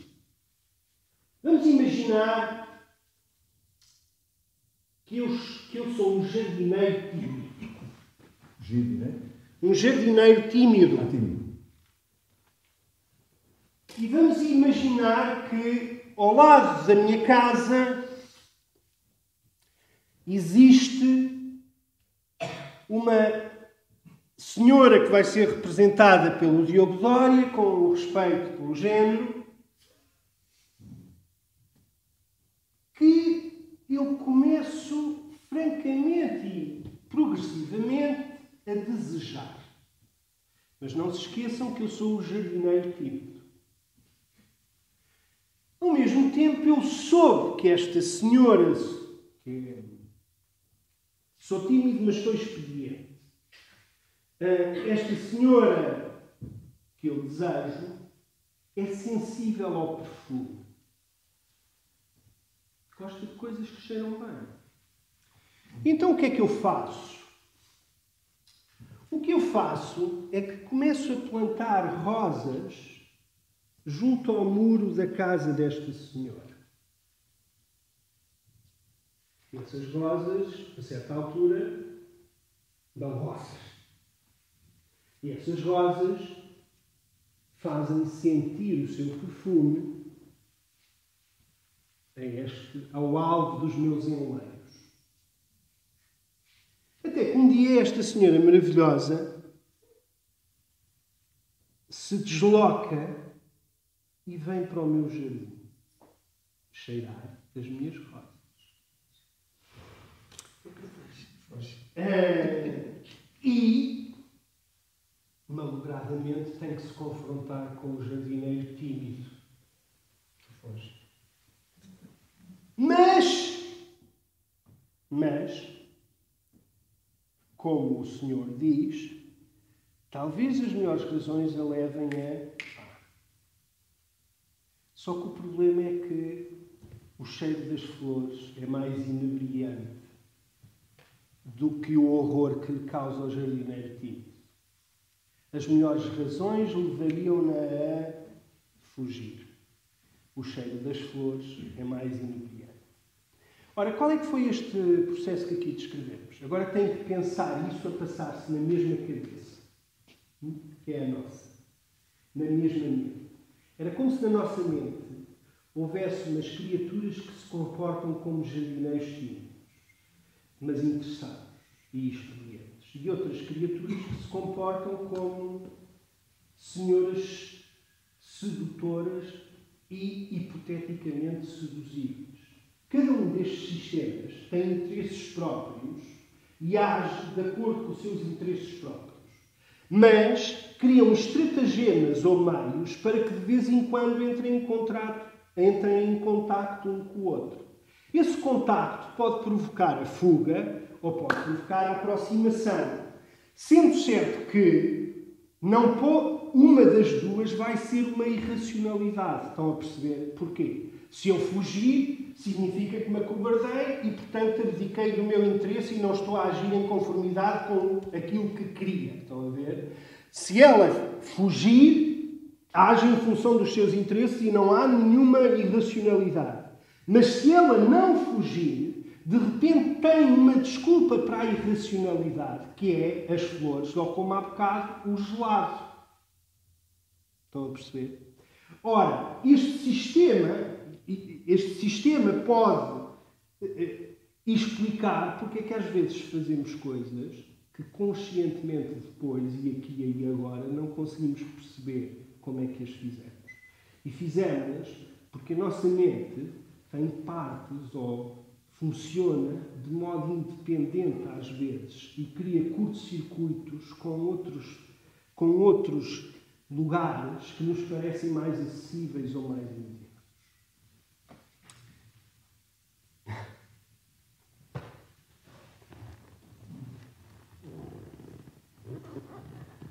Diogo, queres, por favor, perguntar? Não? Ninguém acreditou nas minhas ficções com. Não, não, não, não é isso, não é isso. São todas as coisas que tu levantaste, é imenso, imenso pano para mangas, realmente essa. Eh, sobre, sobre o erro trágico, sobre Sim. a ideia do erro trágico, dá, eh, que, que, o- que Aristóteles, portanto, que vem de Aristóteles como amartia, Sim. esse erro de conhecimento, tu achas que tem a ver com a acrasia, com, com, alguma dessas figuras que tu levantaste ou não? É evidentemente que eu tentei mostrar que eh, é possível muitas vezes explicar o erro trágico recorrendo a um destes Um fenómenos de irracionalidade. Eh, O erro trágico está na literatura, enfim, mais convencional sobre a interpretação da poética, como tu sabes e como toda a gente sabe, o erro trágico está intimamente ligado à questão da hubris, isto é, do desafio. Eu dei-vos há bocado um exemplo pessoal de hubris. Se depois de duas horas aqui a falar de pé, estou um bocadinho cansado, evidentemente, persistir eh, na minha ideia de ir a 140 ou a 150 para Lisboa, se calhar estou a desafiar ainda mais um bocadinho uma coisa que é a compreensão do meu corpo, a compreensão da natureza das coisas, a compreensão. E esse desafio não é um ato de insolência, é um erro. Ponto. Nós descrevemos muito desse desafio como um ato de insolência ou de arrogância, mas ele é fundamentalmente um erro, tu corre. É ignorar objetivamente coisas acerca do meu corpo, acerca da natureza, acerca dos limites, e não é os limites de velocidade, evidentemente, mas também. Há três coisas, evidentemente, que constituem os três objetos diletos do desafio para os gregos. Quais são estas três coisas? Não percebermos o nosso corpo.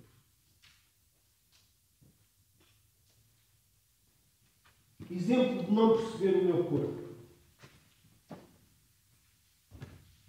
Eu posso estar aqui até à eternidade.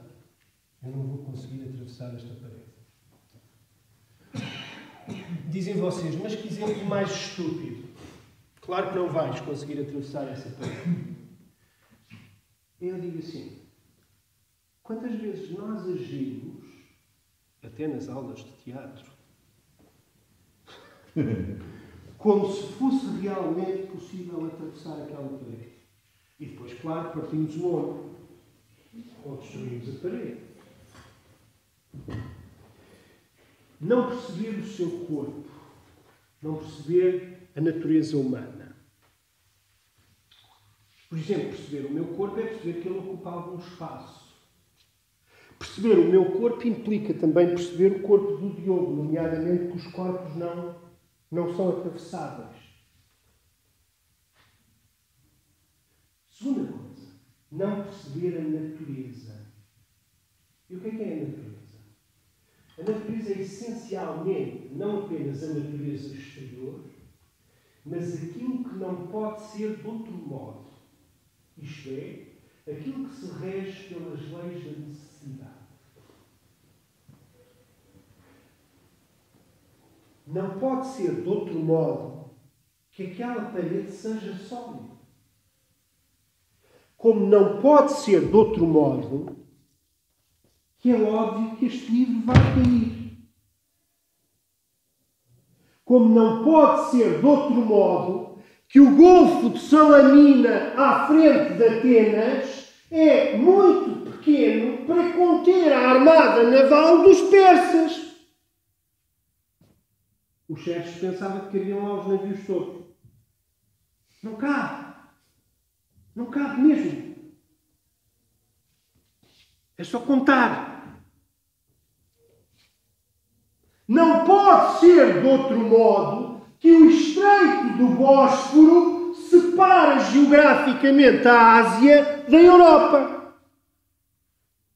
E portanto, se os Xerxes acha que com os persas vai conquistar a Grécia, está enganadinho. Porque a natureza separa a Europa da Ásia. Mas o Xerxes pode ver isso. Na maravilha que é os persas deste-o, diz-se que ele lançou uma jangada de mil pregos, de mil cavilhas sobre o braço do mar. Mas quem é ele para lançar jangadas de mil cavilhas sobre o braço do mar se o braço do mar está lá? As torres gêmeas também. Eram muito altas num tempo em que existem muitos aviões.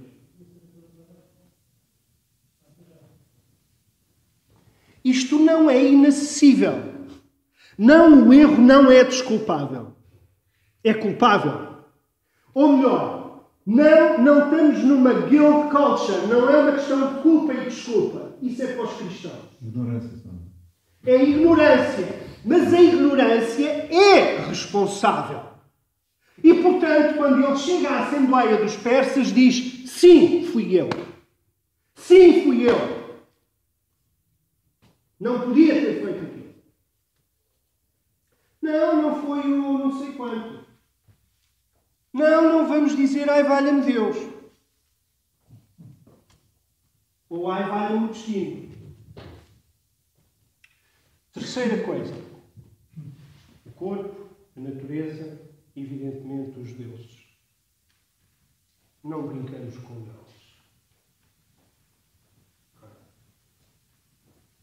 Eles são nossos companheiros, mas não vamos brincar com os deuses. Okay? Prometeu abrir lá. Okay?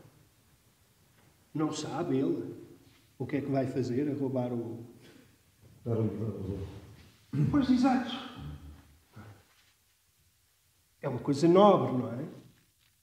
Dar a liberdade aos homens. Bem, mas então que assumam a liberdade. Que não se desculpem com o feito. Sim, a amartia é designada por Aristóteles na Ética Nicômica e na Poética como um erro logisticon, ou seja, um erro calculável. Eu não sei que existe lei da gravidade. Eu não sei que existem sólidos. Eu não sei que existe atrito. Então por que é que vou conduzir a 150 a hora para Lisboa? E sabem que mais? Agora apetece mesmo ir.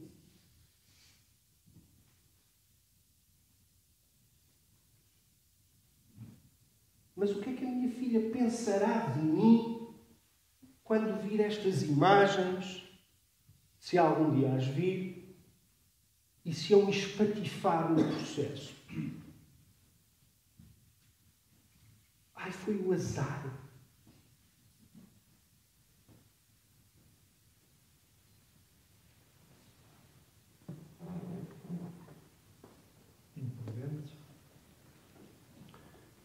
Há uma personagem importante. Uh, desculpe, o seu nome, desculpe, Vasco.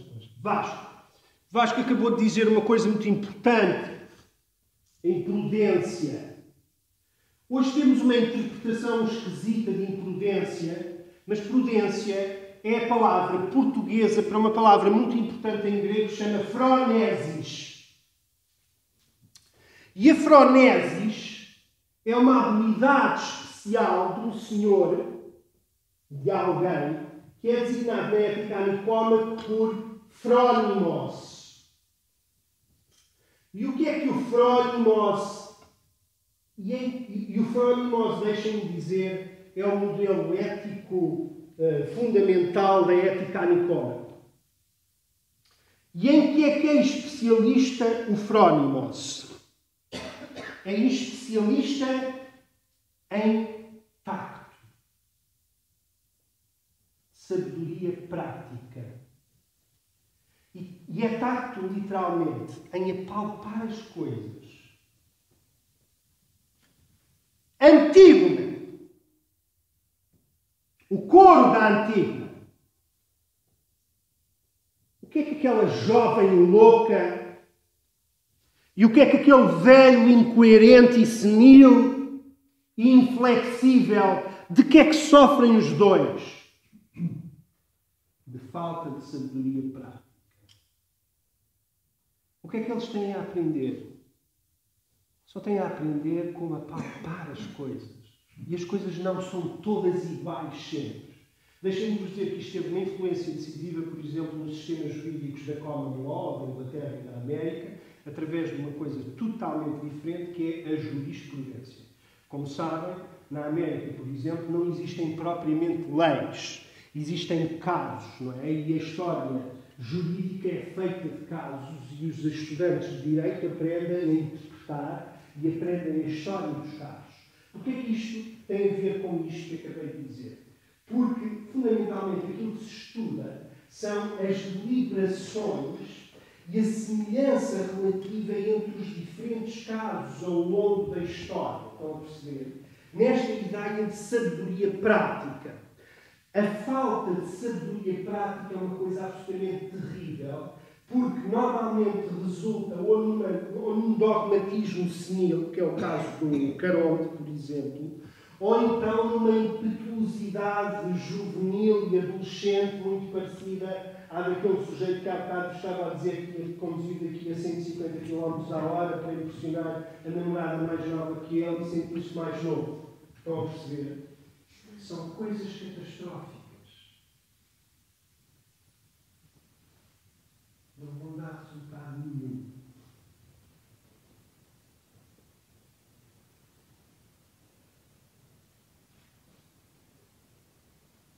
E a última frase da Antígona é a felicidade, lembram-se bocado um dos objetivos do Aristóteles, não é? Eudaimonia e o parquei phronesis. São estas palavras gregas que são as últimas palavras da Antígona. Querem dizer a felicidade nasce da sabedoria prática, da prudência. Não é a prudência do cuidado. Não, é a prudência da avaliação das circunstâncias, novamente, de sabermos o que é que estamos a fazer quando estamos a fazer alguma coisa.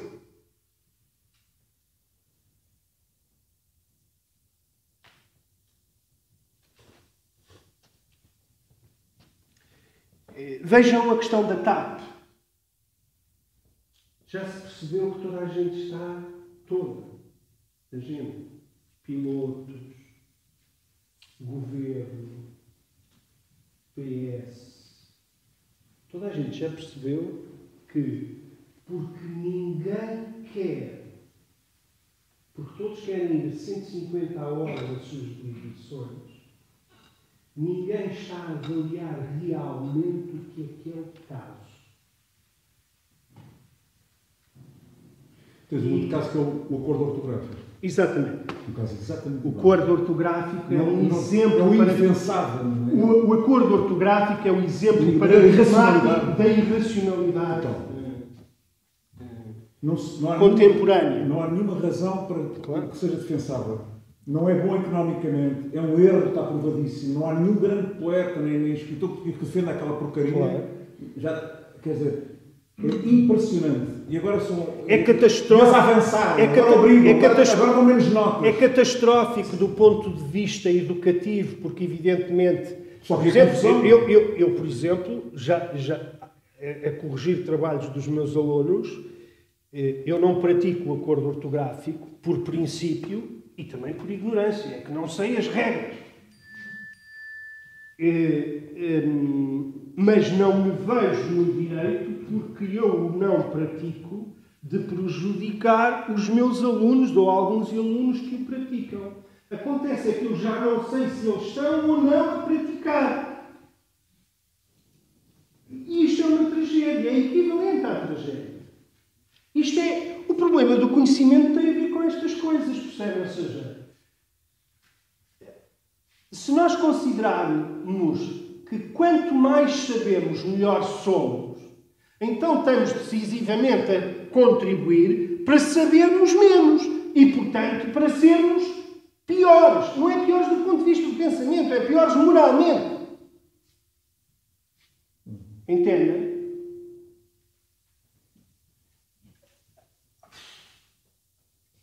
Eu acho que os gregos pensaram estas coisas e é por isso que eu gosto tanto deles. Hum, enfim, isto também, eh, naturalmente, é uma. É uma.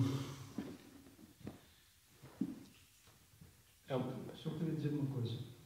Eh, esta valorização da, da dimensão cognitiva do teatro foi claro. tempo, todo, todo, toda a sequência da sua exposição que vai nesse sentido, de, pôr um, um enfoque na, na, na, parte da racionalidade e das suas.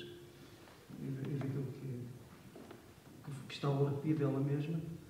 Uh, no entanto, eu penso que o teatro, como, como, como arte, como, quer dizer, eu não sei, eu não sei, portanto, ah, fica, fica um pouco. Força isso. Vasco! Não é força. é apenas isso. O teatro é muito, tem que ser muito mais do que isso. Evidentemente que só por isso já é muito importante. Mas quer dizer, mas penso que será uma visão um pouco redutora a focar o teatro apenas nessa vertente, que é, no fundo, a vertente que tem a ver com, com, com a recepção, não é? Quer dizer, os efeitos que aquilo, que aquele, que aquele momento social tem, aquilo que é, que é feito no palco, não é?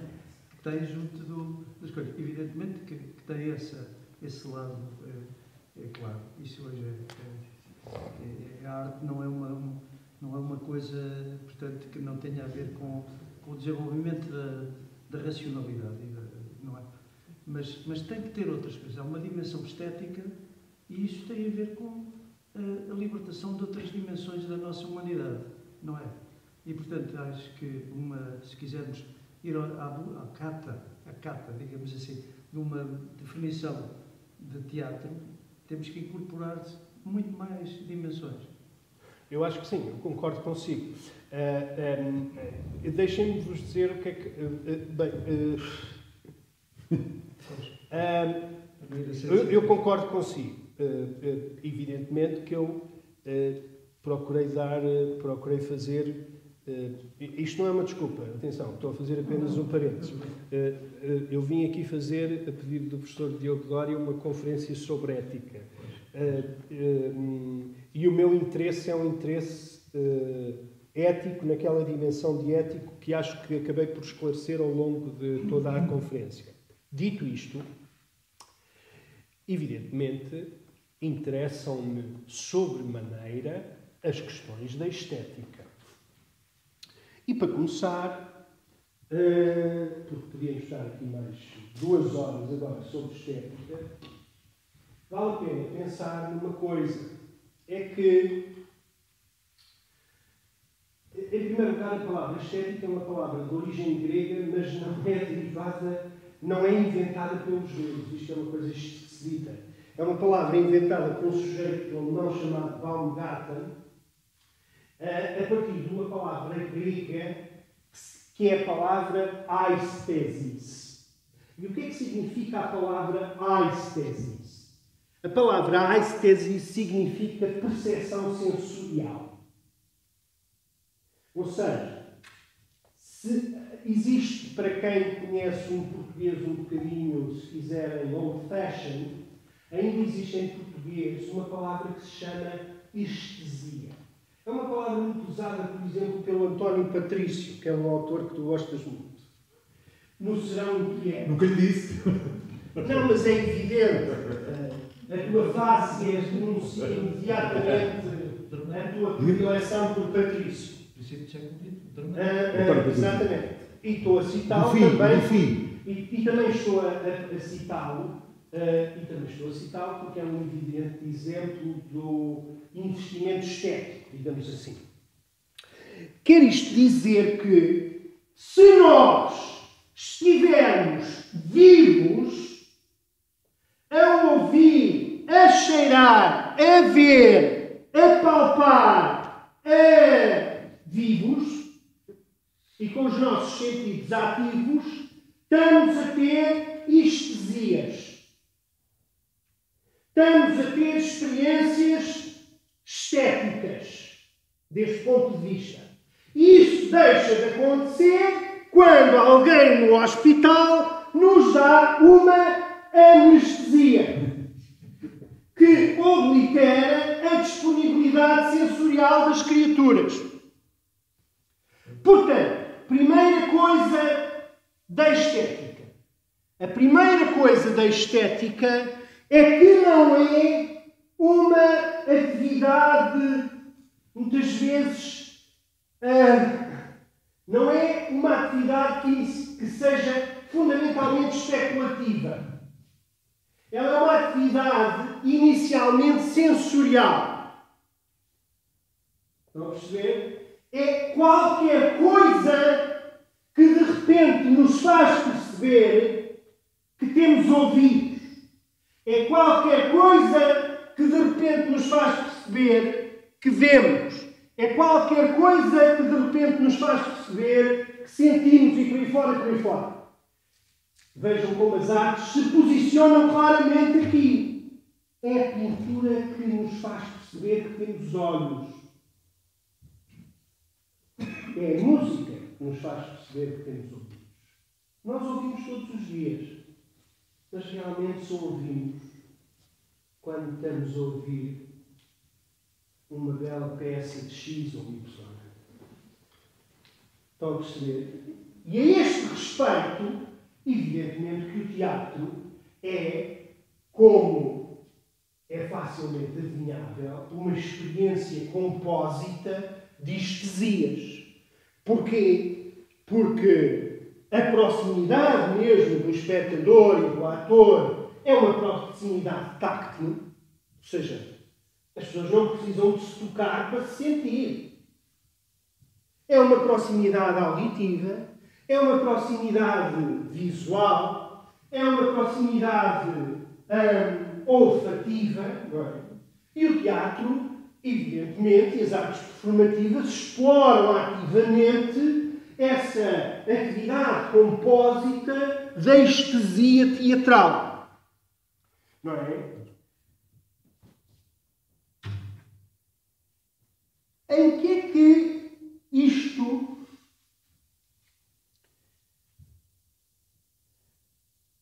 de repente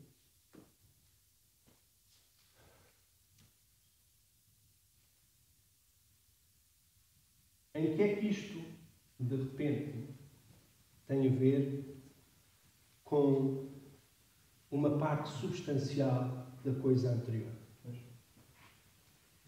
é que para ativar o vosso sistema auditivo, depois de duas horas a ouvirem uma pessoa,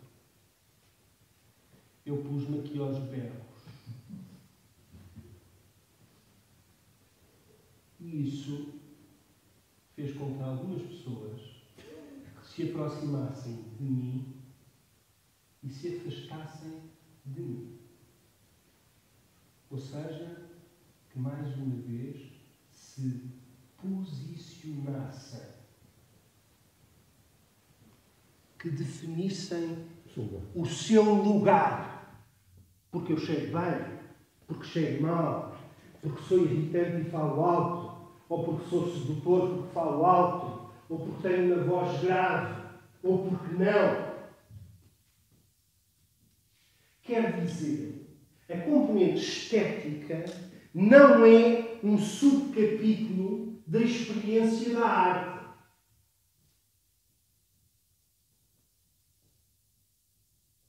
E sim, a componente estética não é um paradoxo, ao contrário do que o Wilde disse, da experiência ética. Como sabem, o Al, Oscar Wilde, tem uma frase muito conhecida que é se um crime valer uma obra de arte, então eu cometo o crime. Num ensaio chamado Pen, num ensaio com o título Pen, Pencil and Poison, sugestivo, caneta, pincel e veneno. Uh, sou capaz de matar por uma obra de arte. Comecei esta conferência por dizer que não é, em termos absolutos, possível dizer que matar é sempre mal. Também, igualmente, não é, em termos absolutos, defensável dizer que não existe nada mais relevante na existência humana do que a arte. Há muitas mais coisas.